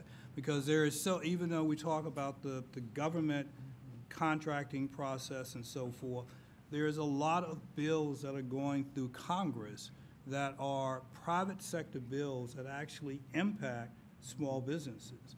And that, the, the many members of Congress, many members of the, the, those committees are not getting the input from organizations like your organizations as to that. And Susan mentioned uh, uh, Senator Landrieu, and you know, some of these members actually have reached out to a lot of the organizations, but a lot of them don't know these organ that you exist. And uh, so there's a lot of information that you can, can actually get. Actually, you can get a lot of information from our website at Advocacy that you can actually send back out to your members. And it's free information because we put on there proposed regulations that are coming from agencies. If there is a request by an agency for a public hearing as this, we put that out there. So that information we're putting out, and you're welcome to take that information and send it back to your members. But you got to give your members more and, and, and get them more engaged, and the members themselves have to become more engaged. And it's a, so it's a two-way street. Yeah, we thank you for that. We're going to move swiftly in, in the interest of time, maybe 30 seconds to give your final thoughts. Go ahead, Susan. My final thought will be uh, amen. uh, USPAACC has two parallel institutions. The USPAACC Education Foundation, which is a 501c3 organization that does not lobby, that we provide education, training, and networking opportunities, which is what we do 90% of our time. And we have another organization, which is USPAACC Advocacy, which is a 501c3 advocacy organization. That's where I talk about bundling. I go to Congress and testify before small business committees on both the House and Senate, and actually uh, write lobbying letters. So yes, indeed, we do do that. Uh, I know that some of the organizations here are not in those category because they are prohibited by their uh, tax exempt status. Mm-hmm. Uh, however, I, think you have a five percent chance of doing that out of the money that the activities that you do. But if you uh, uh, I'll be happy to work with you until uh, such time when you will uh, de- uh, define it necessary or appropriate to form a separate advocacy arm. But we, we do do that. Oh, I just wanted to make sure that people realize that the federal government has a wealth of free data that are available. Please check, you know, agency websites because you get both, um, you know, an, an, an aggregation of data that makes it easier for you to find, but also you have very specific um, scientific, technical data that are available that can help you as you develop new products and services. This morning, uh, in fact, I was running a little late to get here because I was um, a part of a listening conversation with Senator Ben Cardin on this topic, and it was interesting to hear um, some of the younger MBEs talk about some of their challenges. And what struck me is that it's the, um, the ones that we've talked about in terms of the access to capital. How do I find out about all those robust kinds of information? Um, I, I still, um, I think that um, we have what we call a business consortium, and that is the Capital Region Minority Supply Development Council plus our two other assets, which is the MBDA Center, Washington, D.C., and the Federal Procurement Center. And even though we keep expanding the resources, it's still a necessary evil in terms of the activity um, that's, that's meaningful for our businesses to grow. I think what will become kind of a disruptor or a pivotal point is the fact that's kind of staring us in the face, and that the number of businesses in this country in terms of diversity will be steadily increasing, and that will be impacted by our shifting demographics. And so I think that it's going to be an innovative approach by which we have to look in the future of how we continue to kind of solve this issue. Okay. Well, thank you very much, um, each of you, your participation on this panel. We find out that we can uh, go to school tuition free.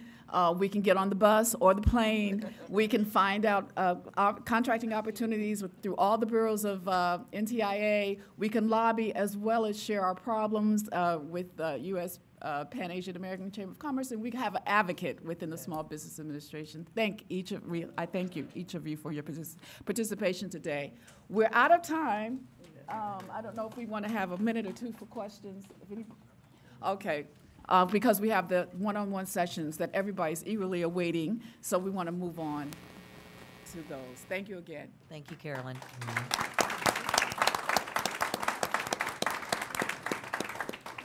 Well, thank you, Carolyn, and, and all of the panelists. Uh, good afternoon. My name is Jamila Bess Johnson, and I serve currently as the designated federal officer of the Advisory Committee on Diversity and Digital Empowerment. I'm, I'm just awed by all of the information that we had today and all of the networking and all of the people who really needed to know each other, maybe getting to know each other by the end of the day. So on behalf of my boss, uh, Michelle Carey, who's the bureau chief of the Media Bureau, I just want to thank you all so very much and again to extend the appreciation of our FCC chairman, Ajit Pai, for you all taking your time and participating. I think we did some good here today. Um, I think, as Sanford said, we probably need to move on. Uh, there are people who are waiting anxiously to try to make further networking connections. Uh, and so we're going to move on to our one-on-ones. And so I would ask if you do have an appointment. Jamila, I have one thing. Before. Okay. If, if you do have an appointment, uh, that you would go over to the side of the room and see John. John, raise your hand. There you go. Okay. You need to see John and check in. If you haven't checked in by a certain time, John may release your appointment because we do have people who would appreciate a walk-up opportunity. So I'm going to ask you to do that. So again, we thank you all so much for coming. Uh, I believe our deputy DFO for the advisory committee, Brenda Villanueva, is on the telephone. Brenda, are you there? Can you say good afternoon? Yes, thank you, Jamila. Good afternoon, everyone. I just want to briefly thank, uh, again, the panelists and the moderators for their insightful discussion I understand we're running short on time, but I also want to thank our team, uh, the agency team, and then also our working group team for all their help for this event today. Great discussion. Thank you. Thank you, Brenda. I, uh, in the rush of time, I certainly forgot to do that. Um, I would be remiss if I didn't thank all of the people uh, in the Office of Communications Business Opportunities, all of the staff persons from the Consumer and Governmental Affairs Bureau, uh, the persons in the Media Bureau, uh, my boss Michelle Carey, and Sarah Whitesell, and Brendan Holland, uh, and Allison Nemeth in uh, the chairman's office. And I'm not going to name names because I would forget someone, but this has really, truly been a team effort. And I certainly want to point out for special commendation uh, Heather Gate of Connected Nation, who serves as the chairperson uh, of the Digital Empowerment and Inclusion Working Group, and her partner, Rudy Brioche of Comcast. Um, they're just a dynamic duo, and so we wouldn't be here today if it weren't for them. So let's give them a round of applause. Thank you. And, uh, don't worry, I'll be quick. Um, I had some jokes written out and some fun stuff to say. I was going to talk about my favorite movies, Black Panther and Wakanda and all the good stuff, but I'm going to skip that stuff and just say repeat the thanks that Jamila said. Um, I actually tried to endeavor to write down everyone's name who helped out because I thought it was important.